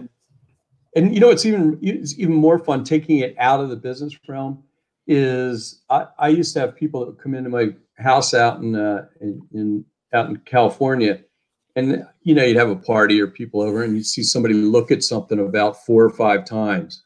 And I go, I said, "You like that?" And they say, "Oh, it's gorgeous. I really love it." I said, "Well, that's yours. Take it home." Yeah. And that was the best part of printing sure. for me. If somebody liked something I did that much, um, you know, I was happy to give it to them I kept the frame, of course. I gave him the print. Yeah. yeah. but you know, I, I gave him, yeah. but you know, that's a big part of it. And then also, I do um, talks around the country on storm chasing to different photography clubs, mm-hmm. and uh, it, it's it's really fun to help people out. And I understand why you do this because it's fun. It's fun to help people out and have them achieve something also. So yeah. Um, it's it's it's great, and I appreciate you doing this. This is a lot of fun. The Facebook group, I get a lot of, and people get upset sometimes about people posting their personal work, and you know that's what the group is for: is to show off what you have learned, what you've been able to achieve, and look, this is what I just did on my Pro 10, and it blows your mind. But some people are always going to be bitching and complaining about somebody posting about their work. So what? That's, yeah. that's the whole goal. Um, when you were talking about boating, that reminded me of here in Annapolis, Maryland. I don't know if you've ever been there. It's a beautiful, beautiful city. No, it's like racing capital of the world. Annapolis, but you know, by the by the old state building and all, all of that.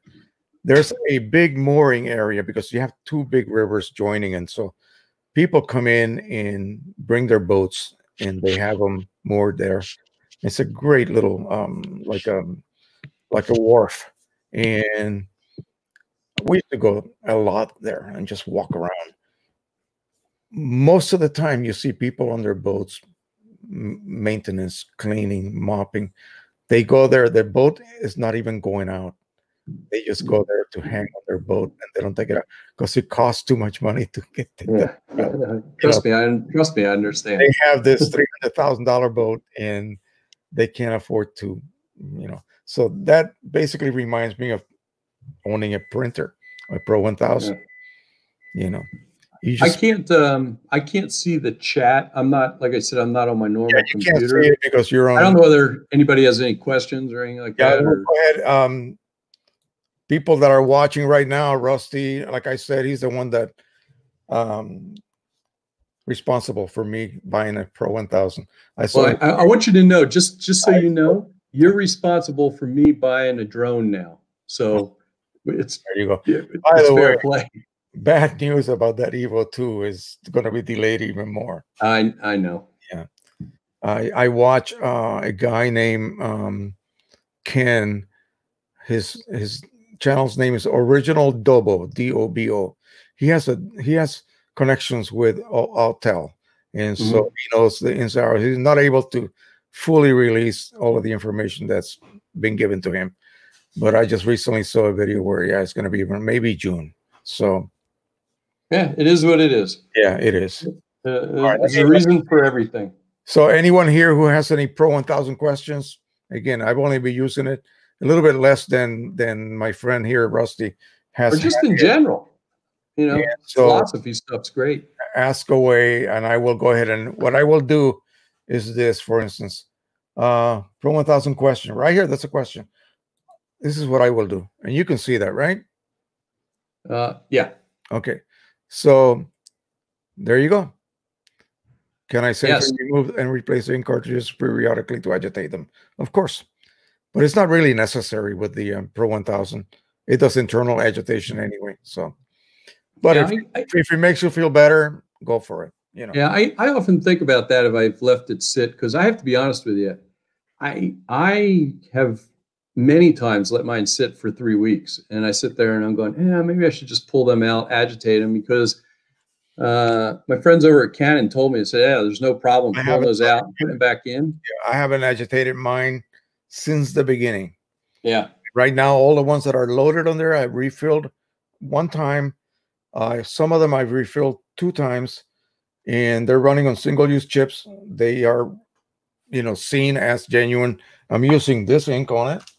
I'm only using OEM ink. I'm using OEM ink on it, and so quality is still, you know, full OEM levels.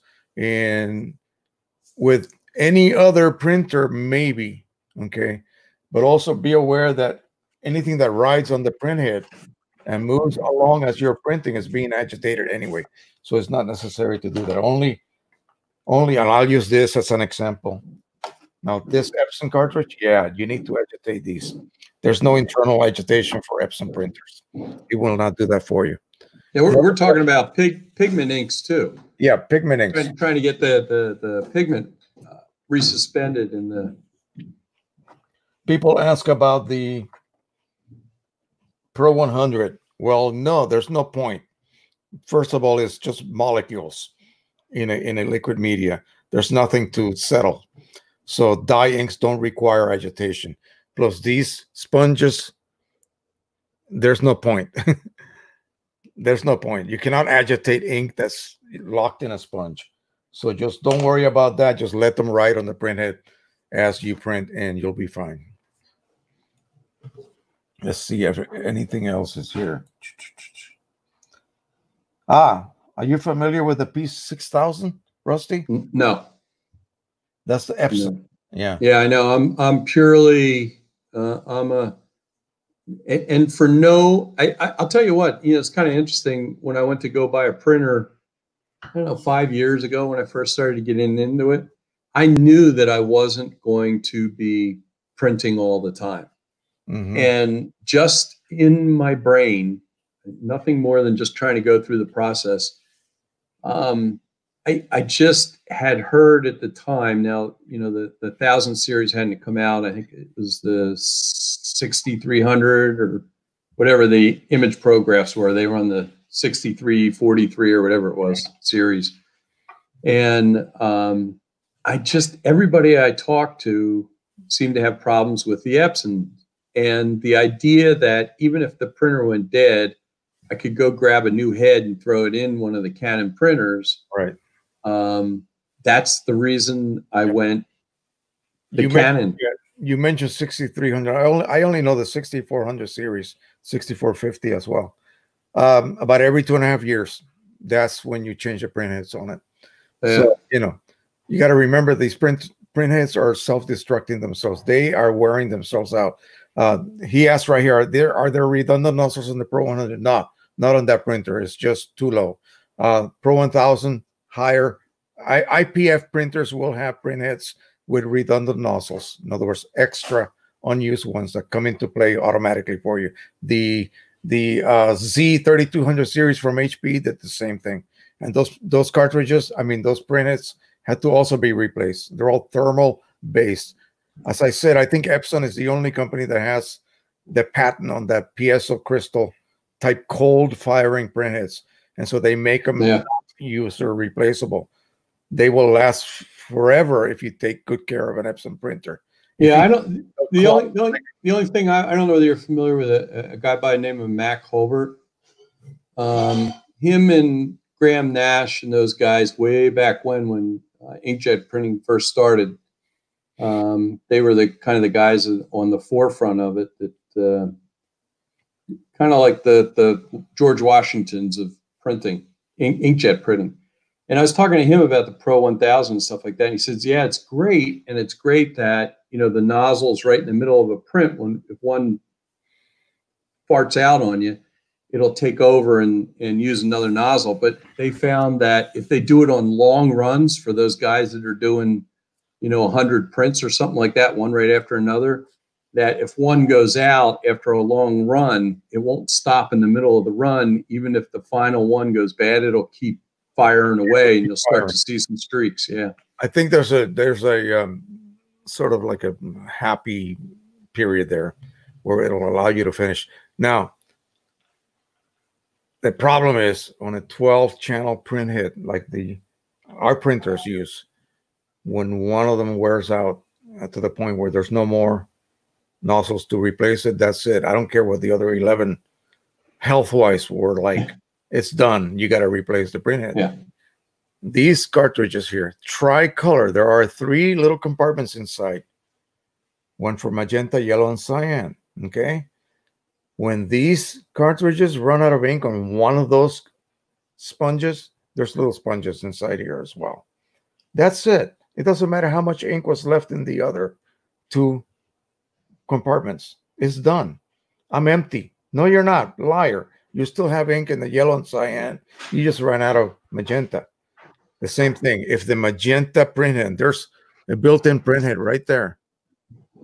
When that cannot explode little droplets of ink anymore, it's done. It doesn't matter what the other three channels were like. Uh, you have to replace it, and that's the way it is with thermal, you know, type printheads. That's part of the cost. But again, like you said, you can just, as long as the mechanical aspects of the printer are still sound, you can just replace those printheads instead of buying a new printer. You know, so for five hundred bucks, you replace it for one thousand printhead. You're done. You can always replace these for 20 bucks each. Yeah. They look really expensive, don't they? They look like really sophisticated pieces of tech. And the Chinese even have chips. Now, why would you want to replace that chip so you can continue to dump ink in here? And at some point, like someone earlier posted, their printer is overflowing gunky ink from one of the sides. Well, guess what? Your internal ink pads are flooding and somehow your printer was not able to register it. Maybe, maybe they use some sort of hardware or software to allow them to reset the count. See, Canon printers used to allow you to do that. You can reset that that waste ink level count and continue to fill those pads for printers that had internal pads. And at some point, you're going to overflow. You're going to overflow. So that may be what's happening. Anyway, what will happen to that waste ink cartridge? I, I love that. A lot of people spell it that way. Yeah, that's it. It gets thrown away. Sorry. There's no way that you can take this apart. It is welded together. It's a unibody type construction. The ones for your printer, however, uh, Rusty, you can take those apart. Have you have you looked into that? You talking about the four thousand? Yeah, No, I haven't. I haven't played with that one yet. that's a different style, and it it can be screwed apart, and the insides can be removed, and you can actually get chips for these. Now, I don't know what they sell for. I think yours are a lot more expensive. Yeah, yeah. I, I have to be honest with you. I don't remember to tell you the truth. Yeah, the same thing for the two thousand. They're about like ninety dollars instead of twenty dollars. Yeah. and I don't know whether they hold a lot more ink. They have a lot more capacity for waste. Do you know what the capacity for your Pro 1000? N- n- No, what I I, I got it. When I did the fill thing to to leave, when I did the transport, went through the transport thing, um, I kept the old cartridges. I wanted to see whether I could throw them back in a year or two later. I know it sounds weird, and why I would do that, I have no idea. But I was wondering whether they would dry out a little bit and shove them back in or evaporate. I don't know. So they're sitting. They'll probably sit there for another year, and I'm going to try them again. Yeah. Um, no, I'm just curious to see if the next family has a much larger capacity cartridge. Oh no, I, I don't know, but I'll tell you what. I'll look it up. I'll I'll figure it out and have you an answer by the next one of these.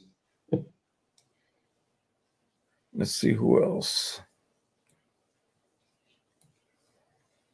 Okay. Da, da, da.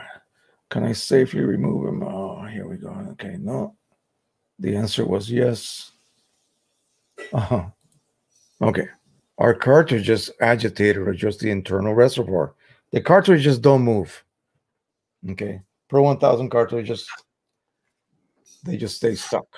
That's it. It's happening downstream the the reservoirs i really don't know where they live but when you open up the top of the printer you're going to see some ink lines a set of two bands with six lines each. I think that's coming from the compartments directly into the printheads.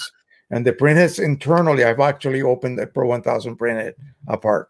And again, it's just a set of 12 little dampers. They look like little cartridges.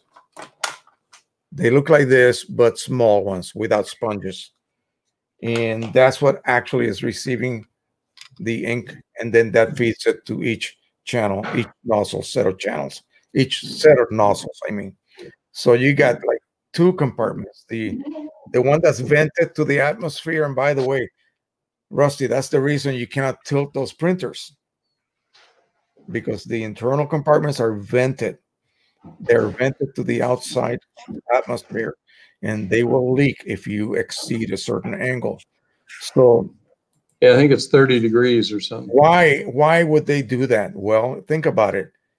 If air gets into an Epson printer's ink lines, you have to perform a complete ink recharge to push out that air. Cleaning cycles don't do shit. Okay. They will not mm-hmm. do anything. They the bubble just stays there. And so only an ink recharge, and you need an adjustment program to be able to access that kind of utility. To it's like reloading your ink system again from fresh. You start with a dry cartridge, and um, you start with a dry printer, nothing in the ink lines, and you flood it with ink. Well, if you have a big batch of air in there, you have to do that whole process again. But on the Pro 1000, it's impossible to do that. You know why? If air gets in from your cartridge, people that disable ink monitoring on purpose after one cartridge is empty and they want to squeeze out more prints, what's inside here? Air at that point. This actually goes empty. When yeah. the air empty, it is empty. And you have nothing but air. That air will be vented inside that internal compartment. At some point, a sensor will stop you there's a sensor that will say that compartment, just like a toilet tank, if it drops below a certain level, water starts flowing in again to fill it. If the compartment drops be below a certain level, it expects ink to be available here to refill that space. No more ink is available, it will stop printing on you. Okay, it's smart. That way, ink never ink never drops below a certain level in that internal compartment. Isn't that amazing? And, yeah. we, still, and we still complain about the Pro 1000. Come on. It, the, I, I, the level of tech in there is just ridiculous. So, so here's a question, a discussion thing. I, I hate to stick on one subject, but I'm not 100% sure of this, and I'm going to have to go look at if those cartridges, you know, you know, when we fill those cartridges with, they tell you to shake them a few times and then put them in, right? So that suspends the um, pigment in there. And so if it sits there for two months, like I have done some, sometimes, but I'm out storm chasing, I got no choice until now that I have Qimage. Um, so how I wonder how long they can sit there like that before they need to be resuspended in in the liquid. I don't know. The the according to the labs, those particles, especially I don't know about Canon, but Epson uses what they call macro micro resin encapsulation, where each little particle that's ground, I mean, to nanometers diameter. I mean, pretty accurately done. Yeah. They're resuspended, and the media that the particles surrounded by the little glob of resin. The what do they call it? Not the the relative density or whatever. It allows those particles to be neutrally buoyant as much as possible. Now there could mm. still be some settling, yeah, but they just kind of float and stay there. It's not going to be, you know, like sand inside a bottle of water. I mean, yeah, no, they stay pretty much buoyant. And so sure, it doesn't hurt to take them out every six months. And so, so I got a question. Do you do do you do uh, custom profiles for people? Mm-hmm. Oh, okay. I, I didn't know. I, I I do them for myself, but I was just wondering if you do them. Yeah, I got me this toy right here. Yep, same one I got. So that that I got a bunch of um I got a big job right here I got to do for someone. So I'll tackle that tomorrow probably. Yeah, I'll tell you what, for people uh, people out there, it definitely makes a difference to have it custom made for your setup. I mean, there's no Yeah. um, did you did you do your internal calibration on your printers? Yes, yes, I do. Okay. Yeah, I, I, I, you know, I'm starting to put together a little thing right now. I'm not 100 percent sure how I'm going to do it, but I'm kind of grading those types of things and how much of a difference they make. In other words, like calibrating your monitor would be A. I mean, Mm. that's like a really important thing. And then, as you know, each one makes a little difference, but you know, those calibration things are big. The, and, and the thing is, calibrating for the Canons, there's a certain process that's it's not the easiest thing in the world to understand of doing those calibrations for the media types um, of how they layer themselves and they're divided into two different subsets also so it gets Mhm. kind of funky and you almost have to keep track of what you're doing fortunately it's not like the a level like calibrating your monitor. If, to me if you don't calibrate your monitor you can't complain about anything. Right. because it's such a big deal.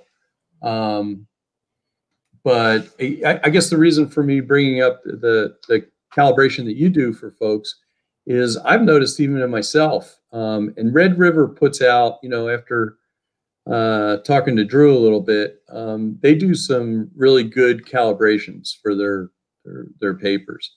But even I, you know, I can notice a difference when I do my own um, uh, for myself, which would be the same as you doing it for somebody if they sent you the prints.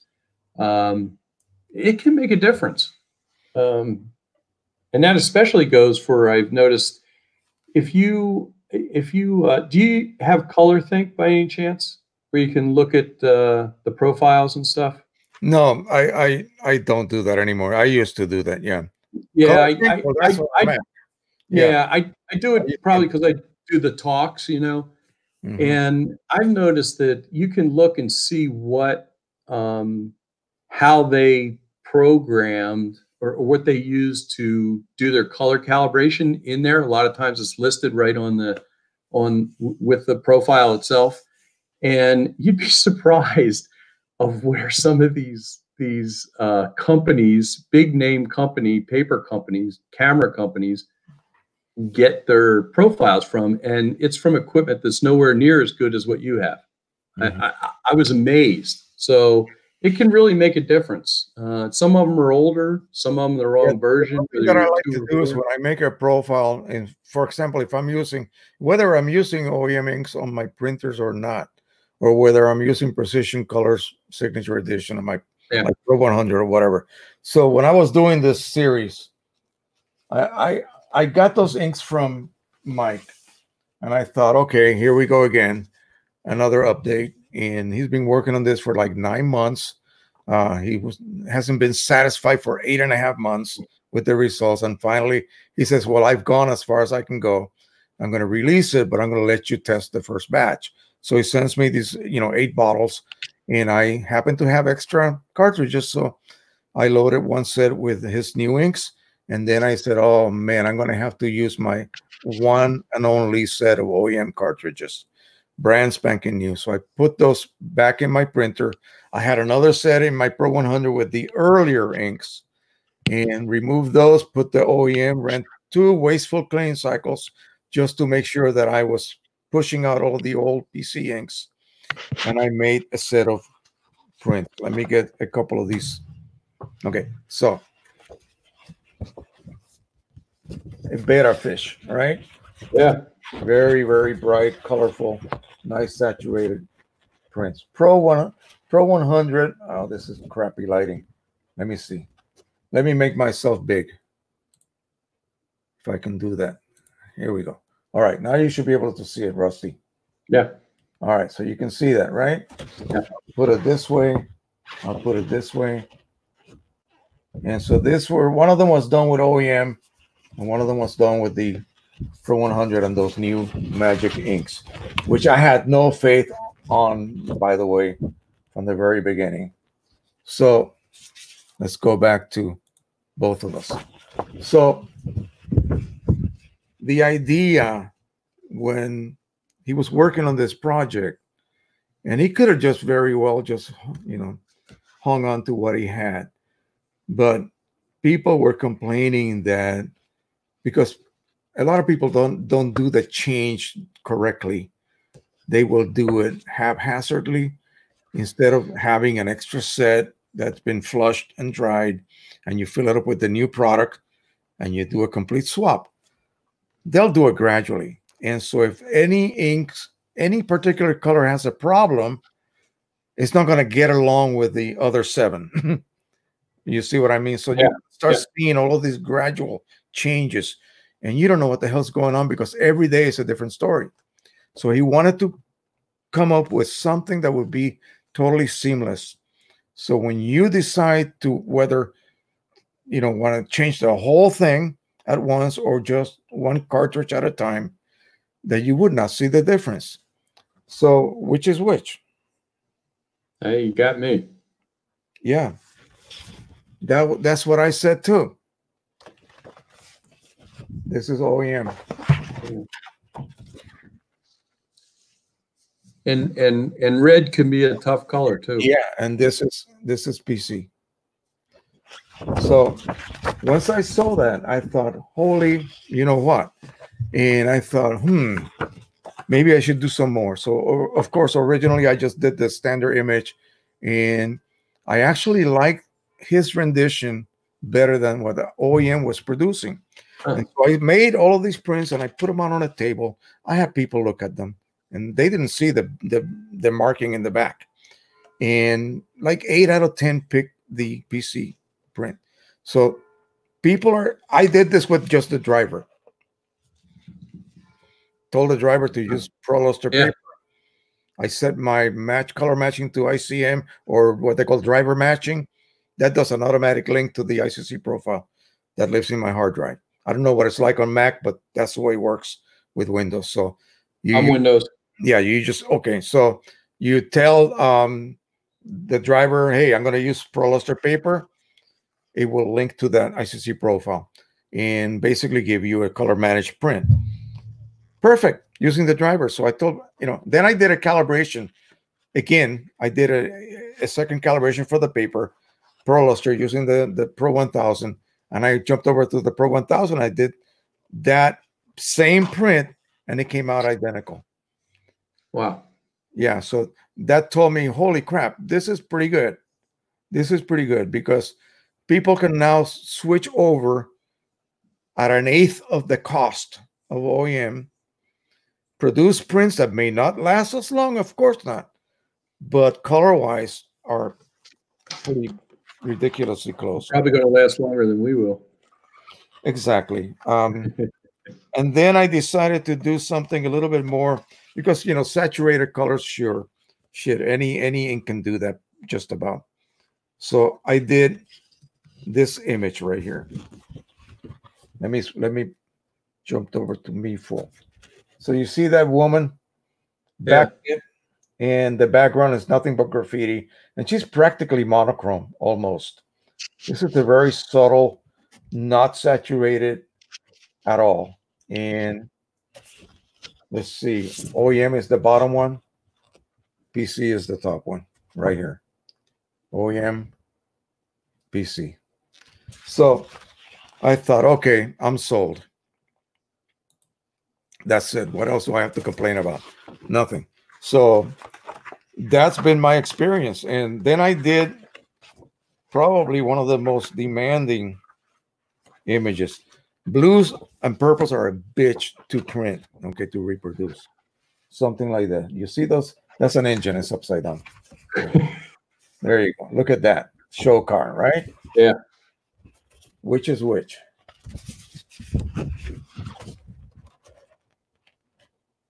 Yeah, well, I have no idea. Yeah, you really you put this on a tabletop with better lighting than I have here, and just people just cannot tell.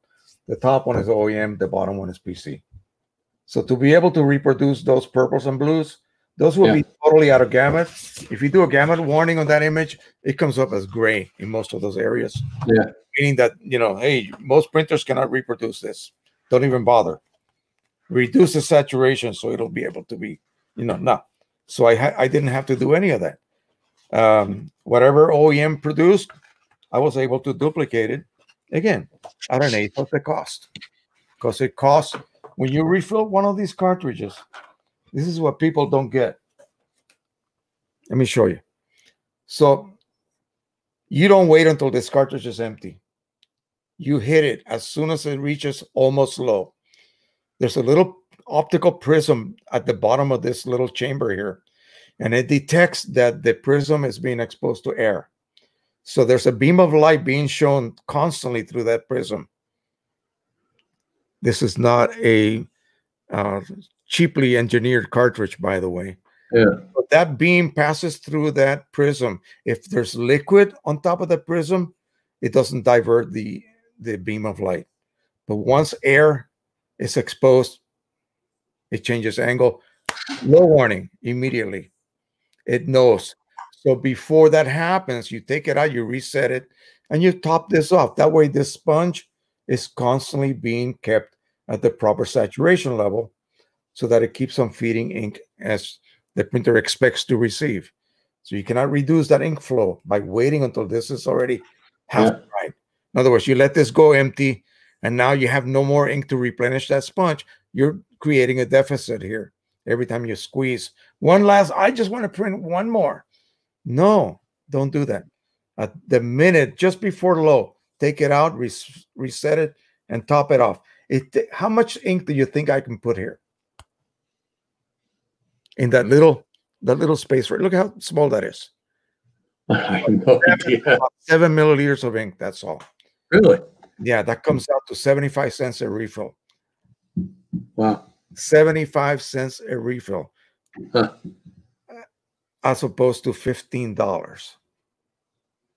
Wait a minute. I said one eighth. That's a lot mo- better than one eighth, isn't it? Yeah. Yeah. Huh. So I'm wrong. Well, now don't see. Now you're going to get me started on that to convert my Pro 1000 over. So yeah, so be able to print stuff like that. All you need to do is use the right kind of ink. Period. Yeah. All right. Listen, I gotta Yeah. discuss some refilling stuff. So And I got it. I got. I'm being called for dinner, which is okay, so go eat. Let me see if I can keep these people awake here so that I don't lose all of them. The, the only Yeah. bad thing about this uh, broadcast type software is I don't see how many people I have. I don't see the count. Only Oh. they can. They can see it because they're looking at it on YouTube. oh, okay. Yeah, it doesn't tell me how many people are on. You should should plug your phone in next next to you. I could do that. Yeah, I, or Yeah. yeah, I could make a little window here, but Well, Yeah. as always, I enjoyed talking to you, and hopefully, we'll talk about the. Yeah, I um, will let everybody know. Oh, you were saying before you go, uh, calibrating your monitor. Yeah, that's number one. And then your, if you got a Pro 1000 and higher, you can internally calibrate the printer so that it outputs as the factory intended it to do so. Right. But have you ever used one of these Oh yeah, oh yeah. to create Yep. a camera lens profile? Yep. So that's Yep. to me, that's my first step. Monitor, printer, trifecta. Perfect. Yeah. Yeah. I I I uh, I, I think I've covered the whole gamut of color. Um, also, micro foc- focusing uh, each lens too to the body, Yeah. which is totally different. But Uh, Mitch Boyer. Look him up. Mitch oh, M no, I no, I know who he is. Yep. Yeah. Yeah. Pro 4000. Yeah. He just recently did a video that I think everybody will be very glad to watch on calibration, internal calibration, why why you do that, how all of that, what does it do? Yeah, and it's it's Really not only it's not really only color, color. It's also has to do with the media that you're doing it Oh, yeah. too. So it's uh, So he's gone from in a matter of a few weeks, he's gone from like 200 subscribers to over a thousand. So that's good. He doesn't know that I've been promoting him. I'm not. I'm not going to tell him. I'm not going to tell him. I don't need to do that. I'm just glad that he's really doing well. He is. Uh, he specializes on one thing only: large prints, but not from a digital source, only from film scans. Oh wow! Yeah, that's what he does, and he yeah. leaves all the dust and everything alone. He will not mess around with, like chemicals. He was to deposit little piece. Oh, it was a pain in the ass to keep a print a processor clean because algae would build up in in these these chemicals literally.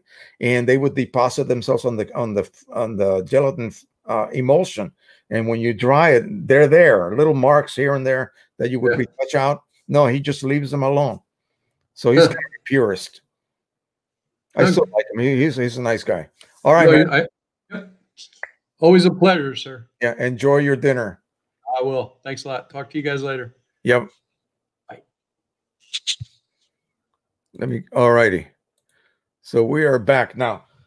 As I said, I'm going to show you guys if you're still interested in seeing this. We got 40 people watching. Awesome. Thanks for letting me know. Um, that's crypto time lord. Let me show you that here, right here. That's awesome. I cannot see the count unless I open up a um, um, YouTube windows, and it is so delayed that uh, it just confuses the living daylights out of me. So let me go back and see if we have any questions from people. So this is what I can do from now on, week by week. I can have a guest come on. I'm going to have Mike uh, Chaney and also uh, Andrew. Andrew wrote the code to Qimage 1 for Mac. And so we'll have Andrew as well as Mike Chaney, who has been the the programmer for Qimage since its beginning years ago. So I have not heard word from them yet, and uh, I plan to have them both on the panel. So once I make this announcement, make sure that you come on board because this is going to be a blockbuster. It's going to be fantastic.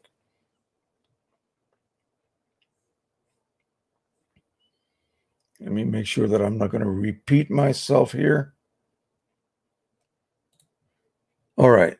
Yeah, the Pro 100 does not have any any redundant nozzles. It's just too low end of a printer. Um, the print head is again this type of print head. Most printers that have simple print heads like these, where the cartridge is actually right on top and installed on top, will not have redundant nozzles. As far as I know, I could be wrong, of course and we looked at that one. And so let's see what else we got. Class action suit versus Canon. Yeah. Um, I think we, I think it, it won't make a difference. I don't think it will make a difference. That's funny. All right. Good old Rusty. And still awake in the UK. Yeah, I just don't want to put people to sleep. 40 people watching. And let's see what else we got here. Now got 44. All right, good. All right, so since we're on the Pro 1000 topic, this is what you need. And preferably, you would need like an 100 milliliter syringe, so a big one. The reason being, and I'm not going to do the process in front of you because I'll dirty up my tip. So you need one of these tips, and you buy these from Precision Colors. You buy the large, um, or even they came up with a method for you to actually refill the cartridge directly from the bottle. Yes. So what they do uh, is have your bottle with the luer uh, tip on it. Basically, that means it's a screw type adapter, and they attach the so-called tip on there. And what you will do is simply this. You will squeeze because the 82 milliliters of ink will come in a much larger capacity bottle. That allows you to squeeze the bottle, insert the cartridge directly into the tip as far as it'll go. Then you let go of the bottle, and that will then expand the bottle back out, will create an internal vacuum you flip it upside, right side up, actually. This will be upside down, looking up. And you allow the ink to enter and fill that vacuum that you created. And then you squeeze again, and so far, so on, so on until you fill the ink. Because you have to do that because there is no way for air to escape. So you have to create this vacuum uh, situation. Now you can pressurize your ink in as well. So that involves doing this. So say for instance, this is this is 80 ml of ink. Okay, of course it's only 40, but just you know, imagine you put that in there and you squeeze and you can't squeeze anymore. So then you bring back the nozzle, you bring back the plunger, I mean, and you create a vacuum. And that's it. That's as much vacuum as you can create. You have ink about this much now left. You fill it in and you can't fill any more in and you pull back and create a vacuum again. And slowly but surely, with this back and forth pulling in and out, creating a vacuum and allowing ink to take care of that void, you will eventually put your 80 milliliters of ink in there or 82. You can put 82. They give you 82. You really only need 80. Now, you must start always from an empty cartridge, okay? That means that you allow the chip to declare the situation empty and not print anymore. You stop at that point. Absolutely. You don't want to then draw air internally, which will then have to be vented by the internal compartment. Yeah, it'll work, but you don't really want to push your luck. Okay. So you allow the ink to empty itself. The chip says I'm empty. The cartridge is empty. You remove it, you weigh it. It weighs 32 grams. You're ready to perform that refill. It's actually quite simple. And once you get the knack of it, it's actually easy and, and mess free. And the only difficult sometimes process is to remove this cap. You really need about four hands to do it correctly. Uh, there are several tabs that need to be loosened, and then you remove this. You don't want to damage this because you don't want to lose this or have it come off prematurely from the cartridge while you are printing. Of course not. Now, somebody wanted to know because I always talk about extracting inks from large capacity cartridges. And they have to be OEM, they have to be original ones because I want to use as much as possible OEM inks. Now, this one has ink in it. This is a 110 milliliter cartridge right there. And it is a vivid light magenta. So I can use this on my 3880. I can use this on my R3000 and my 2880 and so on. So again, you would have to have a special tip. Where did I put that? Now I cannot find it. It's getting darker and darker in here, and I lost track of it. But anyway, it's quite small. It is similar to this one. It's white, and it has a slot cut right here. And that needs to be there so that it doesn't just seal itself against that poppet valve that lives internally on the cartridge. And it's very simple. You can actually just use a plain tip syringe if you just want to remove a certain amount, maybe 20 milliliters of ink, and just insert the syringe tip in there and just pull back. And ink will come right out, fill your syringe. There's an internal ink bag inside here. So the ink is always kept internally away from air. And that's the key point. Somebody said, well, I can just dismantle this cartridge and cut the valve right off the bag and just pour it in a bottle. Yeah, but from now on, that ink is going to be exposed to air at all times. So what I do is I just draw as much ink as I need.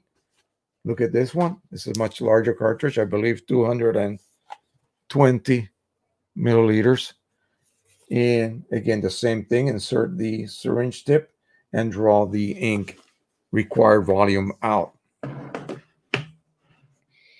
That's all you have to do. It's really, really easy and simple way to do that. Now, somebody wanted to know about refilling Pro 2000. Well, I thought, you know what? Think about it. This will cost $225. This is 700 milliliters of ink. $225. That is including shipping anywhere in the USA from my provider that I have a link for in my description. If you don't read my descriptions, then you miss out on a lot of links that I have there. So have a look and you will see many things, including the store link for the pre-modified Pro 100 uh, sets of cartridges. You can just buy a full set ready to be refilled. Refill them with Precision Colors inks. You're ready to print instantly. Why bother with the flushing and the drying that takes sometimes a whole week to achieve the correct weight? I just use these. Now, this is a little bit more difficult to extract ink from, okay? You have a double port system here. See those two holes right here. And then you have one here. So they have different different um, purposes.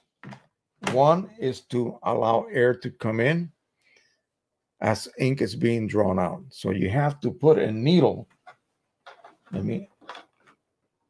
And you have to put a needle into one of those ports. And then the one on the, let me see.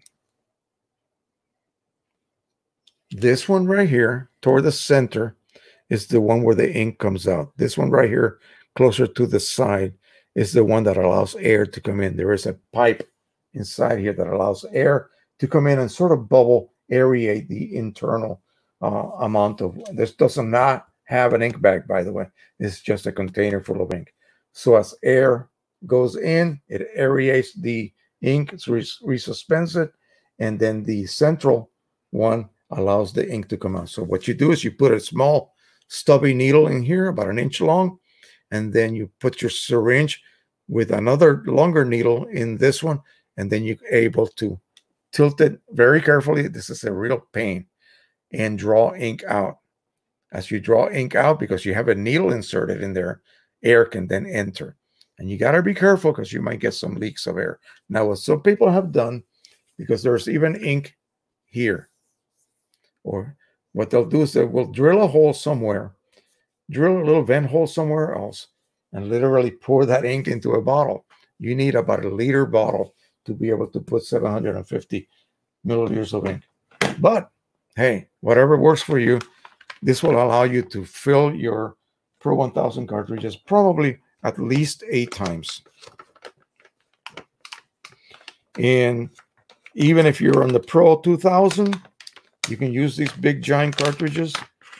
And how often do you have to change them? I don't know, maybe once a year. So, you know, if you're producing prints for money, then it's it's really worth it to I can get this in there now. It's really worth it to go this route rather than just you know waste your time refilling these cartridges. They're a pain in the neck to refill. Although they, they can be they can be refilled, but they're a pain in the neck. Now, one thing that you could do literally is turn these into refillable cartridges, just like the ones that China sells, which I do not trust. Okay, that's it. I, I give up on this. Okay, I got it. I don't trust them. Uh, somebody had recently some problems with um, leakage. Yeah. And so they drill a hole and they put a plug on it. That's it. And they, because these are not pressurized at all. So they put a, a side hole on the, um, maybe on the top of the handle and put a plug and they refill them that way with a little funnel. They, it's a rather large diameter hole and plug. And you just use a funnel and fill the cartridge with ink and they do have single-use chips. I believe China is selling them. I don't know whether they're, you know, reliable or not, but they do have them for two two twenty five for a set. A one, I mean, for one cartridge. And again, that's every every once in a while you'll have to do that. Okay, because that's a lot of ink. That's three quarters of a liter of ink. Um, tell you the truth, I have been printing on my P800 and my Pro 1000. I filled them once so far. How long have I had that Pro 1000? A couple of years at least.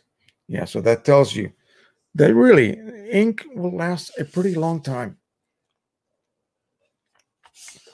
Even on the Pro 1000, believe it or not. I think our, our waste ink volume was 170 something grams of ink really that's not a huge amount when you think about how many prints I have actually created with that printer. All righty, let's see what else we got here. Come on, folks.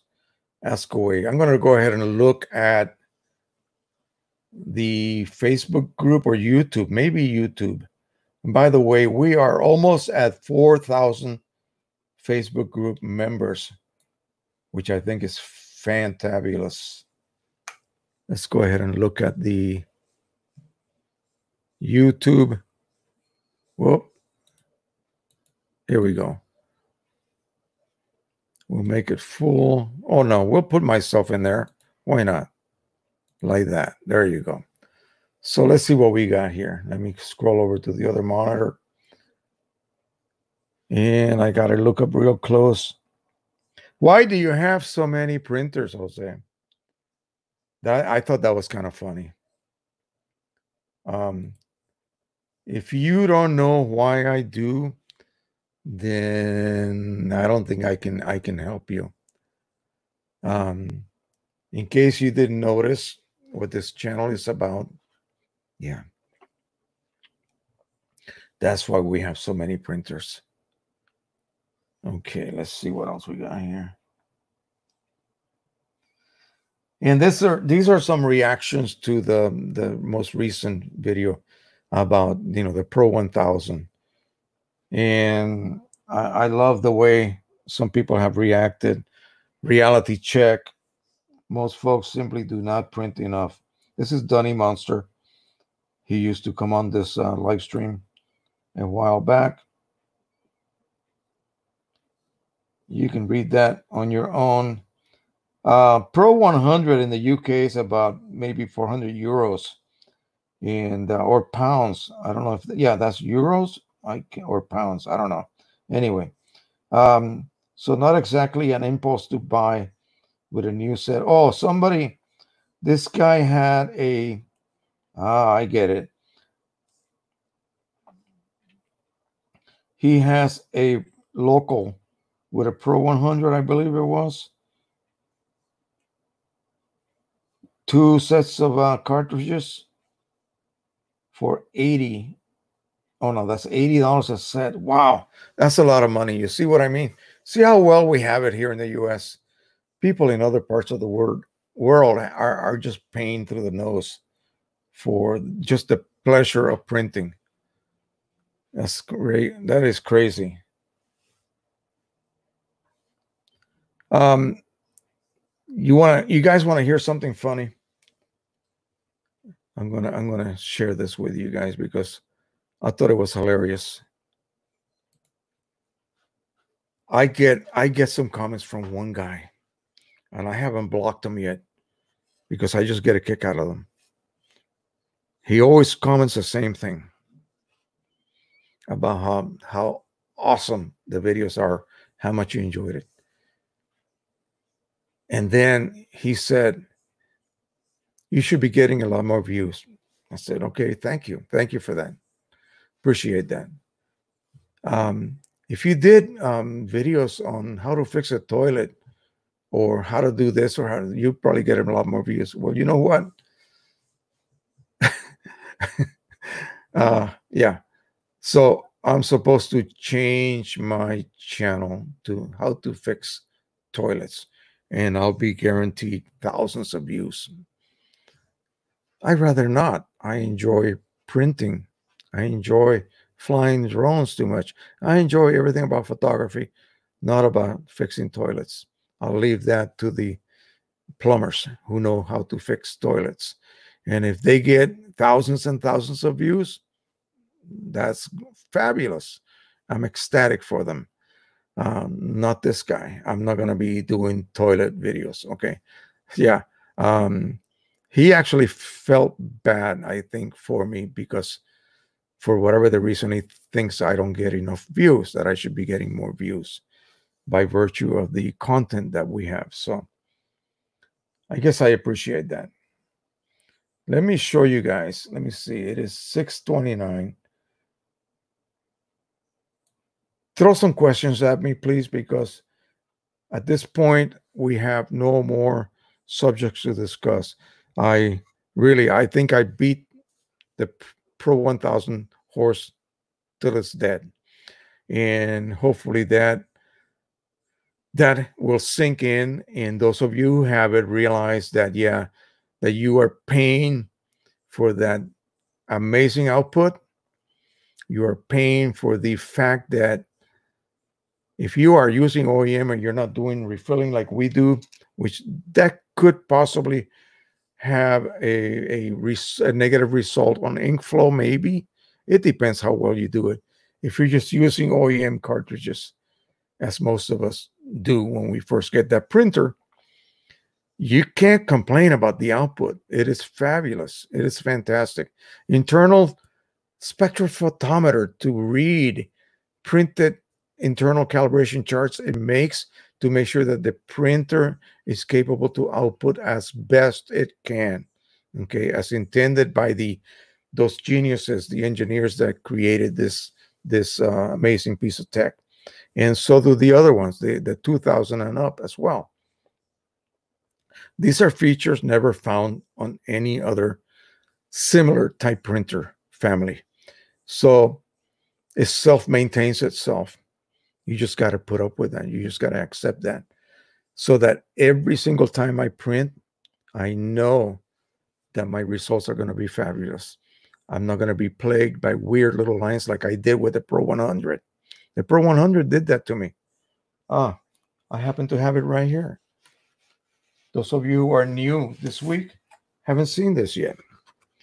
So the other day, I decided to do just a collage of uh, standard images.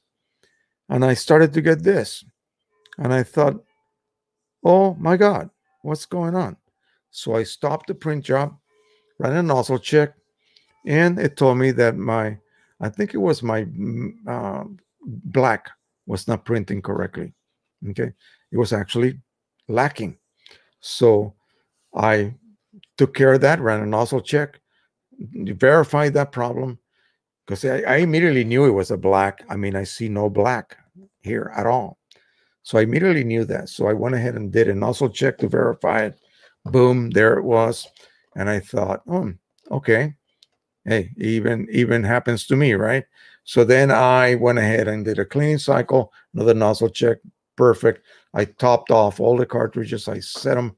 I, I um, you know, reset everything. Actually, this was the Pro 10, not the Pro 100, Pro 10. And so I then proceeded to print. And this is the difference. Top is now correct. The bottom one is lacking black. And you can just see it looks it looks almost solarized. Like it's like I took the black out. And for those of you who may not know, black is only used to accent those deeper tones. The the dark tones are composited from all of the other colors. And black and grays, especially the dark gray, is used to accent the darker tones. Without black, you get nothing but gray looking, weird, solarized look to your prints. So yeah, it happens to the best of us. And I don't want to say including me because I'm such a big shot. No, it happens to everybody in as well as me. But the Pro 1000, the Pro 1000 will likely not ever have that problem. You see the Pro 10 also, but even the Pro 10 and the Pro 100, um, you neglect it, you don't use it, and that preemptive cleaning cycle that it performs before you print, it may or may not be enough to clear a clog. I don't know whether that was a clog or whether that was a problem with the cartridge and lack of ink flow. I really don't know what the cause was. So I decided to just, you know, refill them all up and um, everything is fine so far. So the other day, let me put this over here. I decided to um, do a little flying in my backyard. Now I got a I got I got a tree back there that's just blooming and it's going nuts with the flowers. So I decided to do a video where somebody had asked me, well, what does the raw video look like and what does an edited or color graded video? And the same thing with photographs. Raw files look kind of drab compared to your final edit. So I decided to do that. I took one of my drones up and I just basically went up and went down. That's it, like a minute each. And then I proceeded to do a basic edit and I actually cropped the image so it wasn't 16 by 9, but more more of a um, widescreen cinematic view. And all I did was I adjusted color a little bit and sharpened it a little bit, and then uh, set my color balance a little bit more warmer because it was a very cloudy, kind of cold day, very bluish lighting out there. So I'll go ahead and show you that, and then uh, we'll tackle any more questions that you may have. Um, got a couple more here. We're going to deal with those once we uh, do this. And I hope you enjoy it. It'll be silent at first because I did nothing with the music or anything like that. So we'll go ahead and play it. I'll talk during the silent part. So basically, it's a Parrot Anafi 4K, simple up and down, full, and then raw, and then edited. So raw from the uh, SD card. And there it is. We're just taking off. You can see how drab the uh, lighting is. And there's my my tree right there. And again, like I said, we just went up in the air, hovered a little bit above the tree, and I adjusted the camera angle a little bit. Again, I wasn't trying to show off my flying skills at all. It was just about the video. And people saying, well, should I just leave the video alone and never never edit it? Should I just leave it pure? And the reality is that no, you should not. You should do something to improve that look. And now we just come back down in a little bit.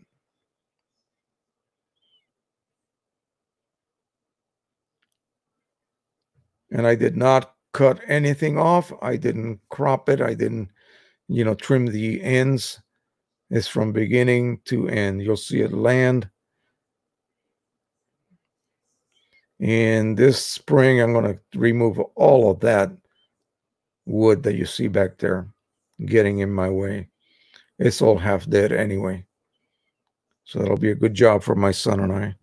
And I got to get rid of all that metal that I have laying over there. Give it to the metal guy that comes every once in a while. Every once in a while. All right, so we land here. Now we're going to go ahead and do the same thing, but this is edited with music and also the crop. So as you can see, the contrast is a little better, color's a little bit more, a little bit stronger. The white point is closer to a white. I use a scope that allows me to determine. It's sort of like a, a histogram, but it's a sort of a, a three-dimensional type scope, and it allows you to see all of the areas. Basically, it sort of shows you the densities in charted. So in a in a two um, axis type graph, but basically it includes the whole image. It's rather neat to see it in that way.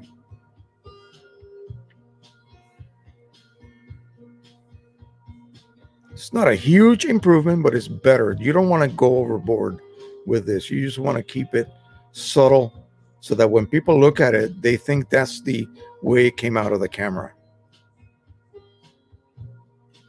If you over manipulate it, just like with an image, if you over manipulate it, it'll be obvious that what you you know what you were doing.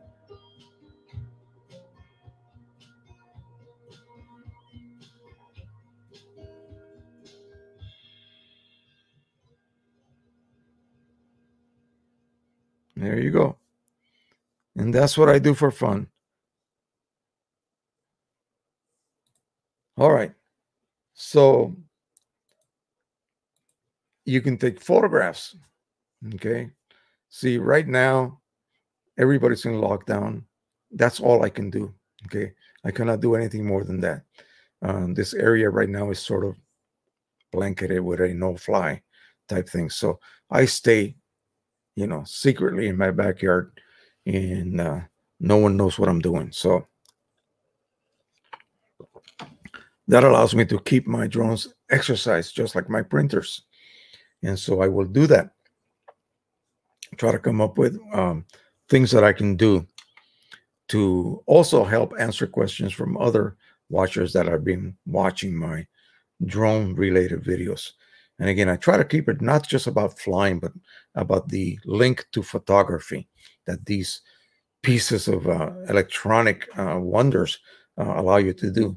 Imagine you can go 100 feet, tilt the camera in any angle you want, and shoot a shot that you can basically compose in your screen of your phone, and the camera will create a raw file of that, which you can then edit to your heart's content, like you would edit any image from any of your cameras. Again, that's that's the way I look at it. It's just another form of photography, although sure is fun and relaxing to fly. All right, let's see what else we got here. We're going to go ahead and activate this one right here. CT with 3. I'm looking at buying a Pro 10. Can I refill the cartridges in that printer? Of course. Of course you can. The simplest ones ever. This is this is just God's gift to the refillers world. What I suggest, I don't know where you're located. Please tell me where you're located. If you're still here with us, tell me where you're located. Let me put you back up. If you are in the USA, what you do is you go to precisioncolors.com. Precision Colors, one world, one world, one word.com, and buy the signature edition inks for this particular uh, printer model, Pro 10. When you buy the kit, you will get the resetter for these cartridges. Okay. You can run these until they are empty. Okay. You reset them and you drip fill them. What you do is you get the kit that has the squeeze bottles. They will come with a syringe needle attached to the top. The ink will be inside the bottle. You just basically tip it and you will drip, drip, drip. into that sponge. You see that sponge right there? There's a bag inside. That's just the exit cover, which is a spongy material. The ink will enter, literally, physically enter, fill the bag up. You keep this on a scale like that. Open up the lid, of course. Let's do that correctly. You turn it on, you place it on top like that and you drip, drip, drip until you reach 32 to 33 grams of total weight. You give it a little squeeze on the side, you will see ink begin to flood the sponge. You let go, the ink will recede internally again. And where did I put my, my clip? Man, I lose I would lose my head if it wasn't attached. Here it is. And like so. So do not throw these clips away if you decide to get this printer. Simple, you're done. That's it. You pop it back into the printer and you're good to go. You can do one cartridge at a time. It will simply take you about maybe a minute to do so. That's plenty of time. The printer will not be moving over to the parking area. So it'll wait for you for about five minutes. So make sure you do this quickly. Okay. And using the squeezy bottle system, that precision color sells you will actually speed the process to, to no end. It's, it's the quickest way to do this.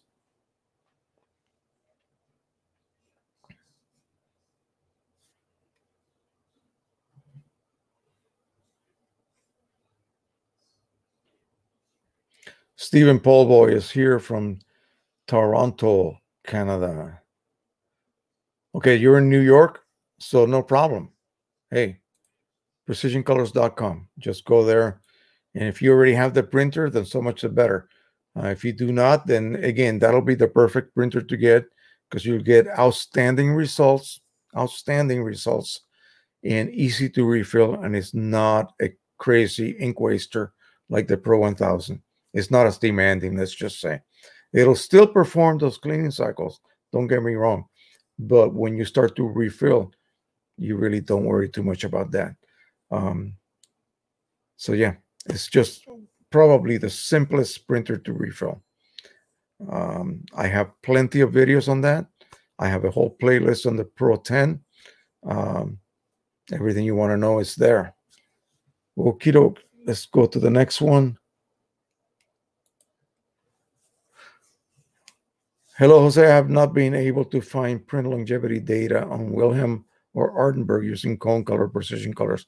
Actually, uh, not, not with the uh, signature edition inks. Um, we only did a few tests with the earlier inks.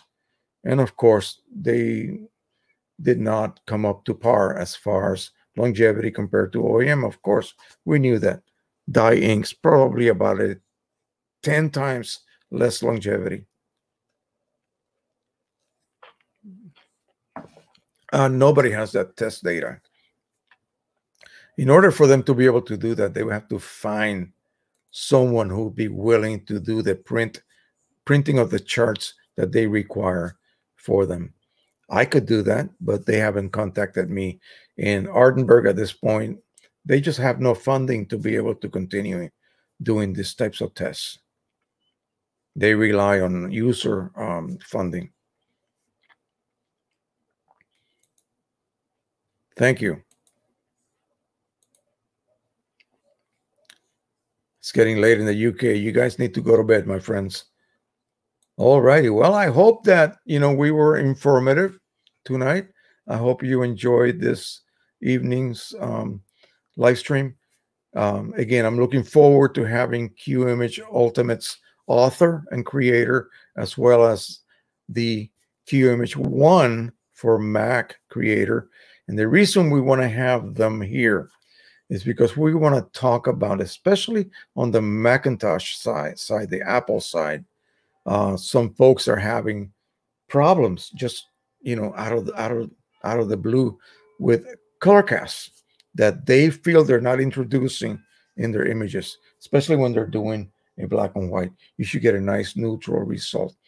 Nothing is ever going to be dead on neutral measured by an instrument. Don't get me wrong. You will always have a slight tonality, probably undetectable unless you have two images side by side, two prints side by side. You may not see the difference. I happen that happens to me all the time. I have 13 printers. I can print 13 monochromes. And they will all have a slight tonal uh, change. It will not be absolute neutral. Okay. You're probably asking too much of your printers. Okay. All right. They are not perfect. They do not produce perfection. Close enough is what you get. And as long as that close enough is indeed close enough, then it's good enough. Who is calling me?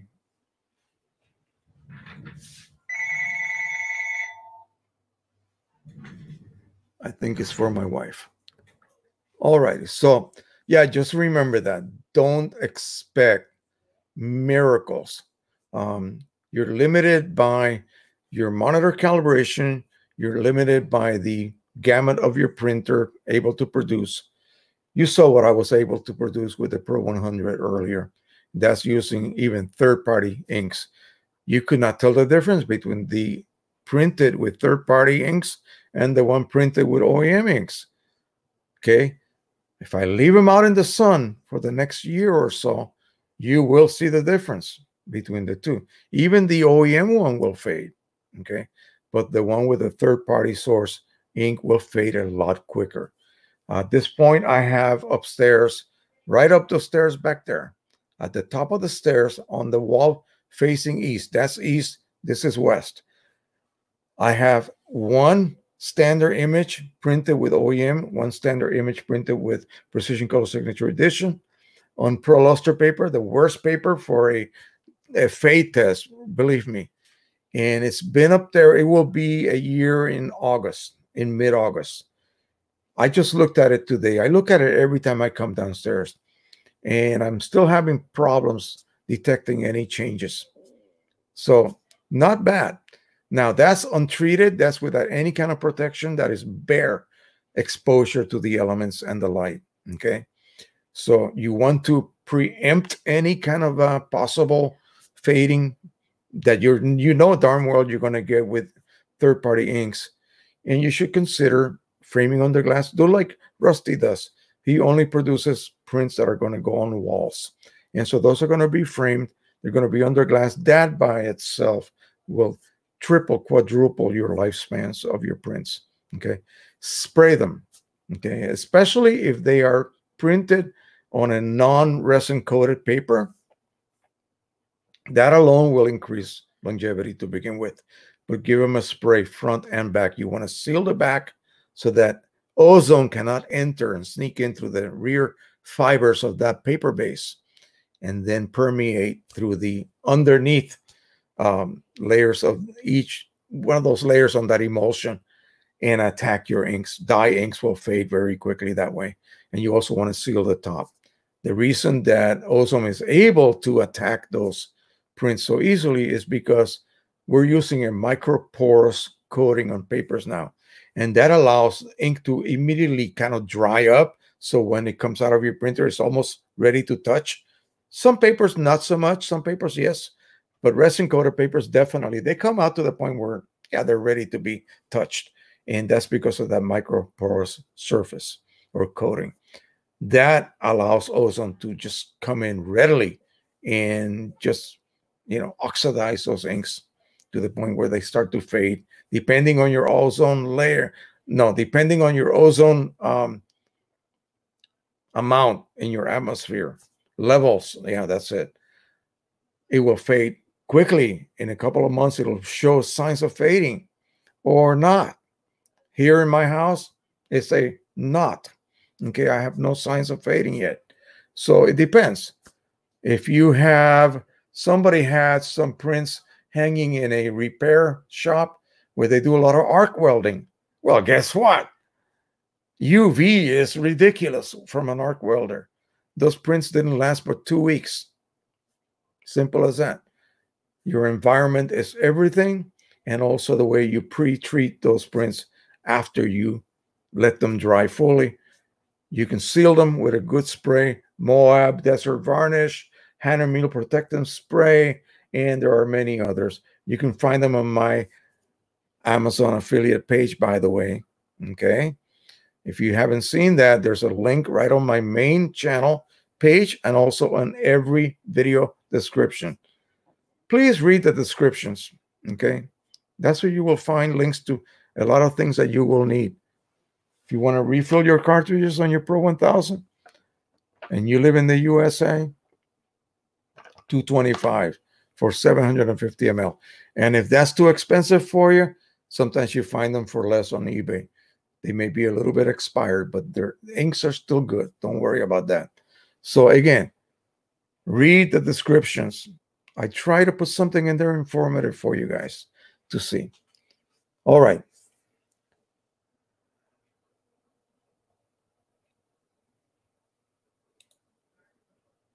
Looking to the chat, about QMH got my questions already. Okay, so that's going to happen. He's got to let me know because he wants to coordinate it with uh, Andrew. And I did notice Andrew has an Australian accent. So he may be in Australia for all you know.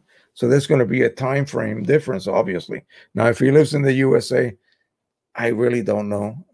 I don't get personal. I really uh, don't know why we haven't been able to coordinate it yet. Now, Mike is down in uh, the Tampa region of Florida, so down there, southwestern Florida. So that's not a problem at all. And I said to him, um, I need to address some Apple, Macintosh, Mac driver problems uh, when it concerns QImage. And then we also want to discuss all of the features that QImage uses and some of the things that it uses to save you from making mistakes while you print, while you're printing using ICC profiles, pretty much automatic. It's the only one that I actually trust, okay? Not too many things I trust. I'm a hands-on check by myself, make sure that I have manually set some settings up. I don't want to be told, oh, we've already automatically taken care of that for you. No, I'm not that type of guy. So at least QImage has proven to me that, yeah, when they say it is set correctly, it is set correctly because I go back and double check anyway. I don't take even its word for it.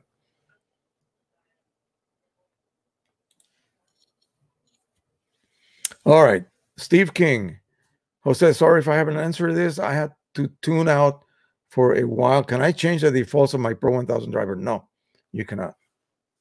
Cannot. I wish I I wish I could. I would have done it already. The defaults are there. That is it. It is kind of uh, how they say etched in stone. Yeah, it's part of the uh, firmware.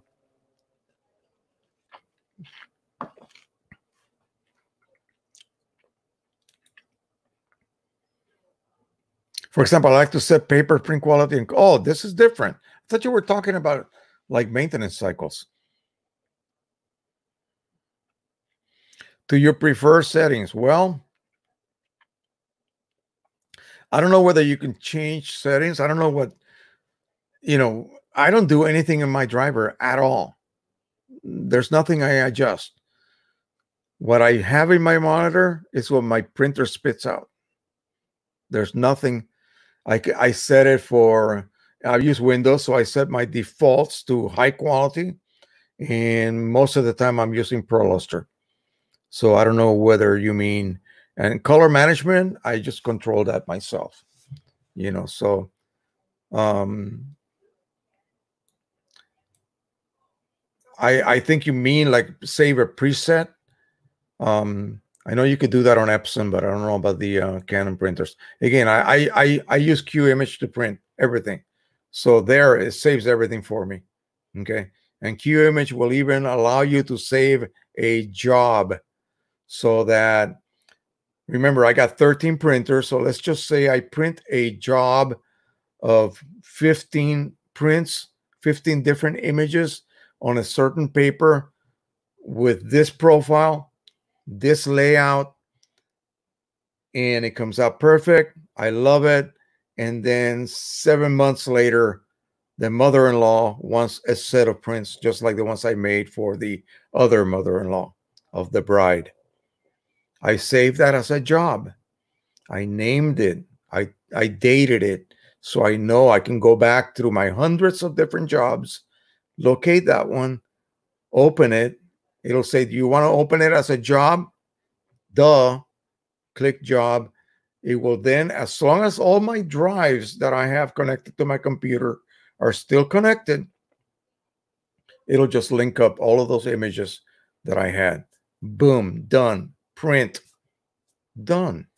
It'll use the same printer regardless of whether I have one or 13 connected to my computer. It'll pick that very same printer. The layout will be the same. The settings will be the same.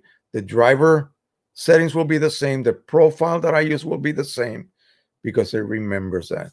Now, that, that is assuming that you don't change anything in your computer. In other words, your images are still living in the same folders. Even if they're scattered through different drives, it will find them instantly. And you still have those ICC profiles that you use, that one profile that you use okay? And you didn't decide to print it on a different kind of paper you see? So it's wonderful. So many things. That's just one of the that's one thing that would ask actually get me to buy that program okay? Another amazing feature and i mean just mind-boggling two things actually. I have hundreds and hundreds of profiles in my computer as you can imagine custom made ones and the ones that come with each of the drivers say I want to print on my Pro 1000 or my P800, it doesn't really matter, my 3880. And I got a box of Epson paper and I load that Epson paper in my printer. And in the driver inside Qimage, I say I want to print on presentation matte. Okay. When I go to look for my profile among those hundreds and hundreds of profiles, I click on a little magnifying glass. It's just a little loupe like the detectives use. I click on that. Guess what profile is now located on the top? It wasn't before, it was buried somewhere. Guess what profile is located on the top? The one that I need. Click, load that profile. It was there, but it was mixed among, you know, maybe 600 profiles. So there you go. Not only will I assign or uh, at least suggest to you, hey, we think this is the profile that you're looking for. And you go, damn, I, it is. Click, that's it. You're done. Now, now that I'm using a profile, uh, you have to tell the driver to not interfere with the instructions from that profile. You see what I'm saying? That's called double profiling. Now, normally you have to manually go into the driver and choose no color management so that then QImage can manage the color through that profile. But what if I forgot to do that in my driver? What if that driver is set to ICM color matching? Basically, it's going to use that same profile double. You're going to get your your color is going to be off. Okay. QImage will halt that process, that mistake from taking place. If I forgot to set it to no color management, it's going to say, you're going to get a little warning. It's going to say, your settings have been changed in your driver. And you go to your driver and look, and sure enough, it is now set to no color management because I'm letting Qimage manage color. What if I tell Qimage, oh, just let the driver control color? Okay. And I choose that paper presentation mat. Well, what if the driver, I forgot to set it to driver matching or ICM so that it uses that profile? It's going to show me, well, you had it set at no color management. We have switched it for you to ICM. Boom. And I have tried to fool it. I have tried on purpose to double profile. Okay and it, it can't happen. He just won't let me do it. It's always correcting me. And I go, damn. I try to fool it, but it won't let me. Another thing is that if you print, let me show you what I'm talking about.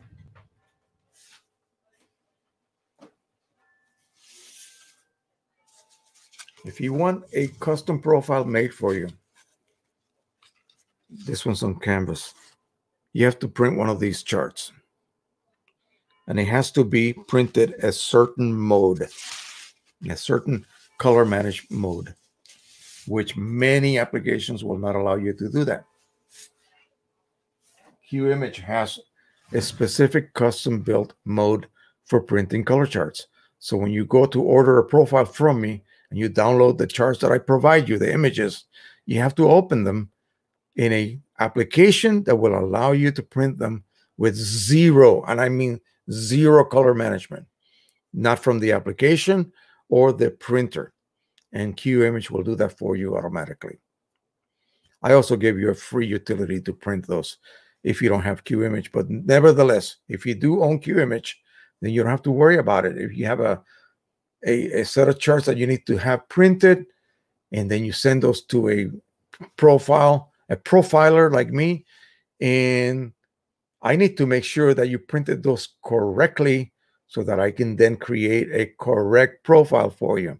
You see, if you did not print those correctly, then my profile that I create for you is not going to be correct.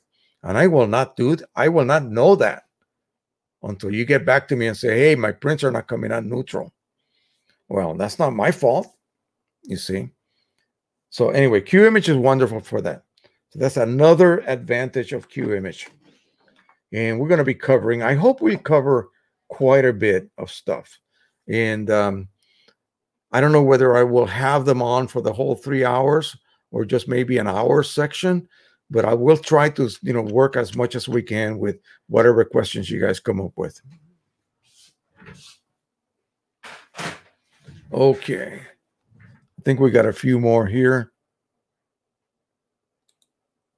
Moving to Linux for sole drawback is printing Q, image solution coming. I have no idea.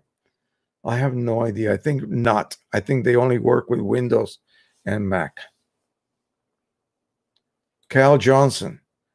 There's a question on Facebook if a whole nozzle will ever clear. You mean an, a channel or a, or a single nozzle will ever clear for R3000? I have same issue.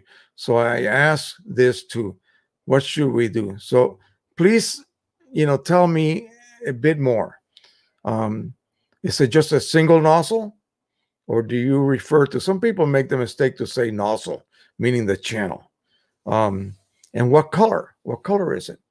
I really haven't looked at Facebook all day today, so I haven't I haven't got a clue what this was question was about. So I'll let you clear that up in the next few minutes. We've gone over the three hour already. So go ahead and Cal, let me know what you mean by that. And then later on, I'll, I'll go ahead and uh, scour through uh, Facebook and see. Are you sure it's not? Is it a black? Okay, it could be. It could be related to the uh, switch. Nozzle check. Yeah, nozzle check channel is black, but which? Which one? What color? Light magenta on 3880 and others, and theirs on the R3000. Okay. So, and theirs in the R3000 light case. So it doesn't seem to be related then. Um, all I can tell you is to check your ink line. Okay. It could be that you just have air in there. Usually a channel just doesn't go blank. Two things can, can be the cause. Either there's no ink in the line, there's no ink in the damper anymore, or that channel's electronically failed. Okay. That's very unlikely. Epson printheads are super tough. Um, so check the ink lines. That's all I can tell you. And then uh, if that is the case, and if you're refilling by any chance, then you're going to have to check your your cartridge to make sure that the. Let me see if I have a, a yeah, here we go. R3000 cartridge, refillable. Make sure that the priming chamber, let me find that. I don't know if you can see that little circular right there by my finger. Make sure that that area there has ink. Okay. That's the priming chamber. It has to be not full of ink, but it has to have maybe half full of ink. And that allows its siphoning to take place so that the port actually receives ink, not just air. And it could be that if you if you open up your lid and you take a look at your at your actual uh, ink lines and locate that one to see if there's actual ink in it. If there is ink in it, all the way to the printhead assembly, then I, I really don't know what could be the cause. I'm sure that you have run, you know, cleaning cycles already. So, all right. Well, thank you guys so much for hanging with me yet again. Yet again, this is getting to be a lot of fun. I think we're at somewhere around the 65th or 6th, maybe even higher live stream. So when, when, once we hit 100, we'll have a big celebration. All righty. Okay, so if there's if that is it for now, I'll give you guys one more second here. If not, then I will go ahead and terminate this. All I got to do now is go over here and hit the end broadcast button. Does it for you automatically, not a problem. Oh, here we go. ET. I almost I almost left you guys, and I have one more question. Um, CT with three. Suggestion for which fine art to start with. What are you talking about? Paper or printer?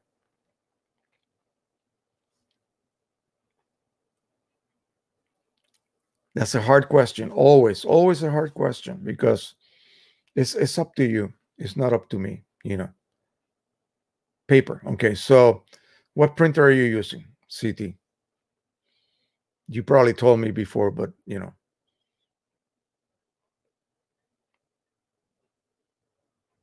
And what is it that you're trying to achieve? I mean, what look are you looking for?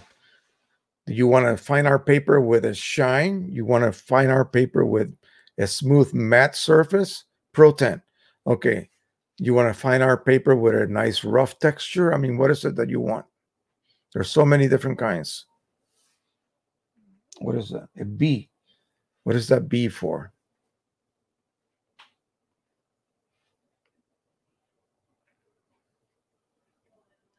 I'm new to this. Yeah, that's fine. So we were all new to this too. Not a problem. That's what I'm here for.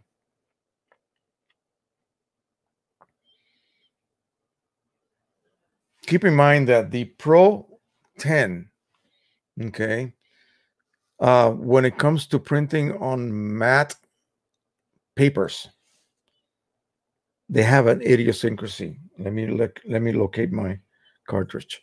So there are two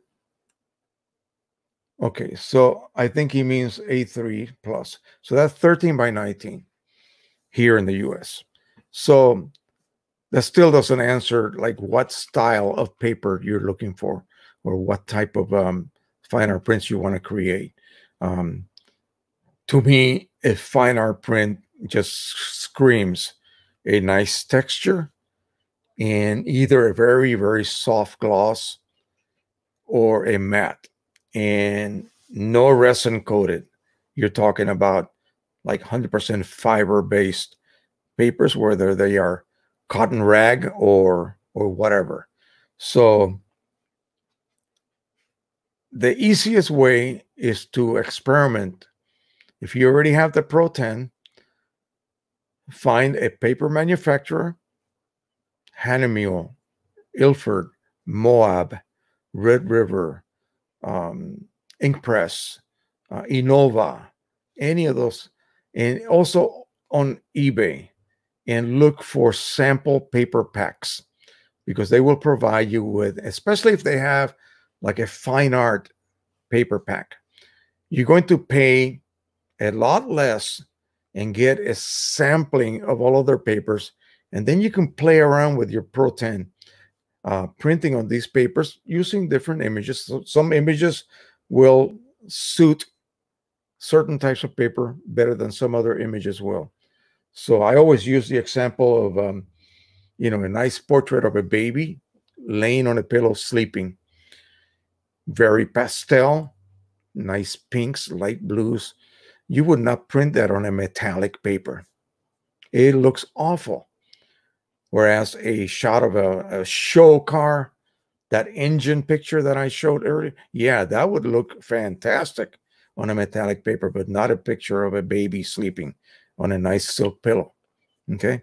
So a landscape, if it's a landscape containing containing a lot of greens and browns and rich oranges and that type of colors, toward that realm, the warm side of the spectrum, then you want a paper with a, warm paper base and a nice rough texture.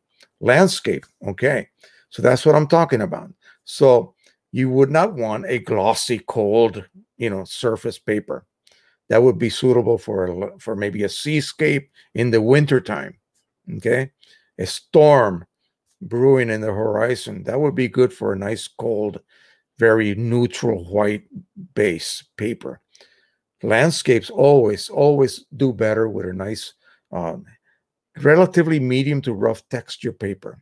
Again the best way to find out again is don't waste time buying boxes of paper just get a sample sample pack. Uh, again there are many paper manufacturers just look on ebay ebay and um, see what you can find i don't know where you're located but again whatever is easiest for you to acquire All righty. All right. Thank you guys so much again, man. We'll see you next week. I'll be having some videos come up. I got a couple more subjects that I need to address before the week is over. We're starting a new week tomorrow. I hope everybody's doing well with the lockdown. Oh, you're here in New York. That's right. Sorry. Yeah. Uh, heck, go on my uh, Amazon affiliate page. I have lots of paper sample packs there. Just order them there. You'll be helping the channel indirectly. You will not spend a penny more. Uh, it'll be the same as you would if you had, you know, gone to your own Amazon.com. Use the link on my description. Let me see if I can uh, show you guys where that's at. Yeah, actually, just just go on my description. I have my Amazon link in there. All right. Thank you so much again, guys. We'll see you next week. Stay safe, everybody. Bye bye.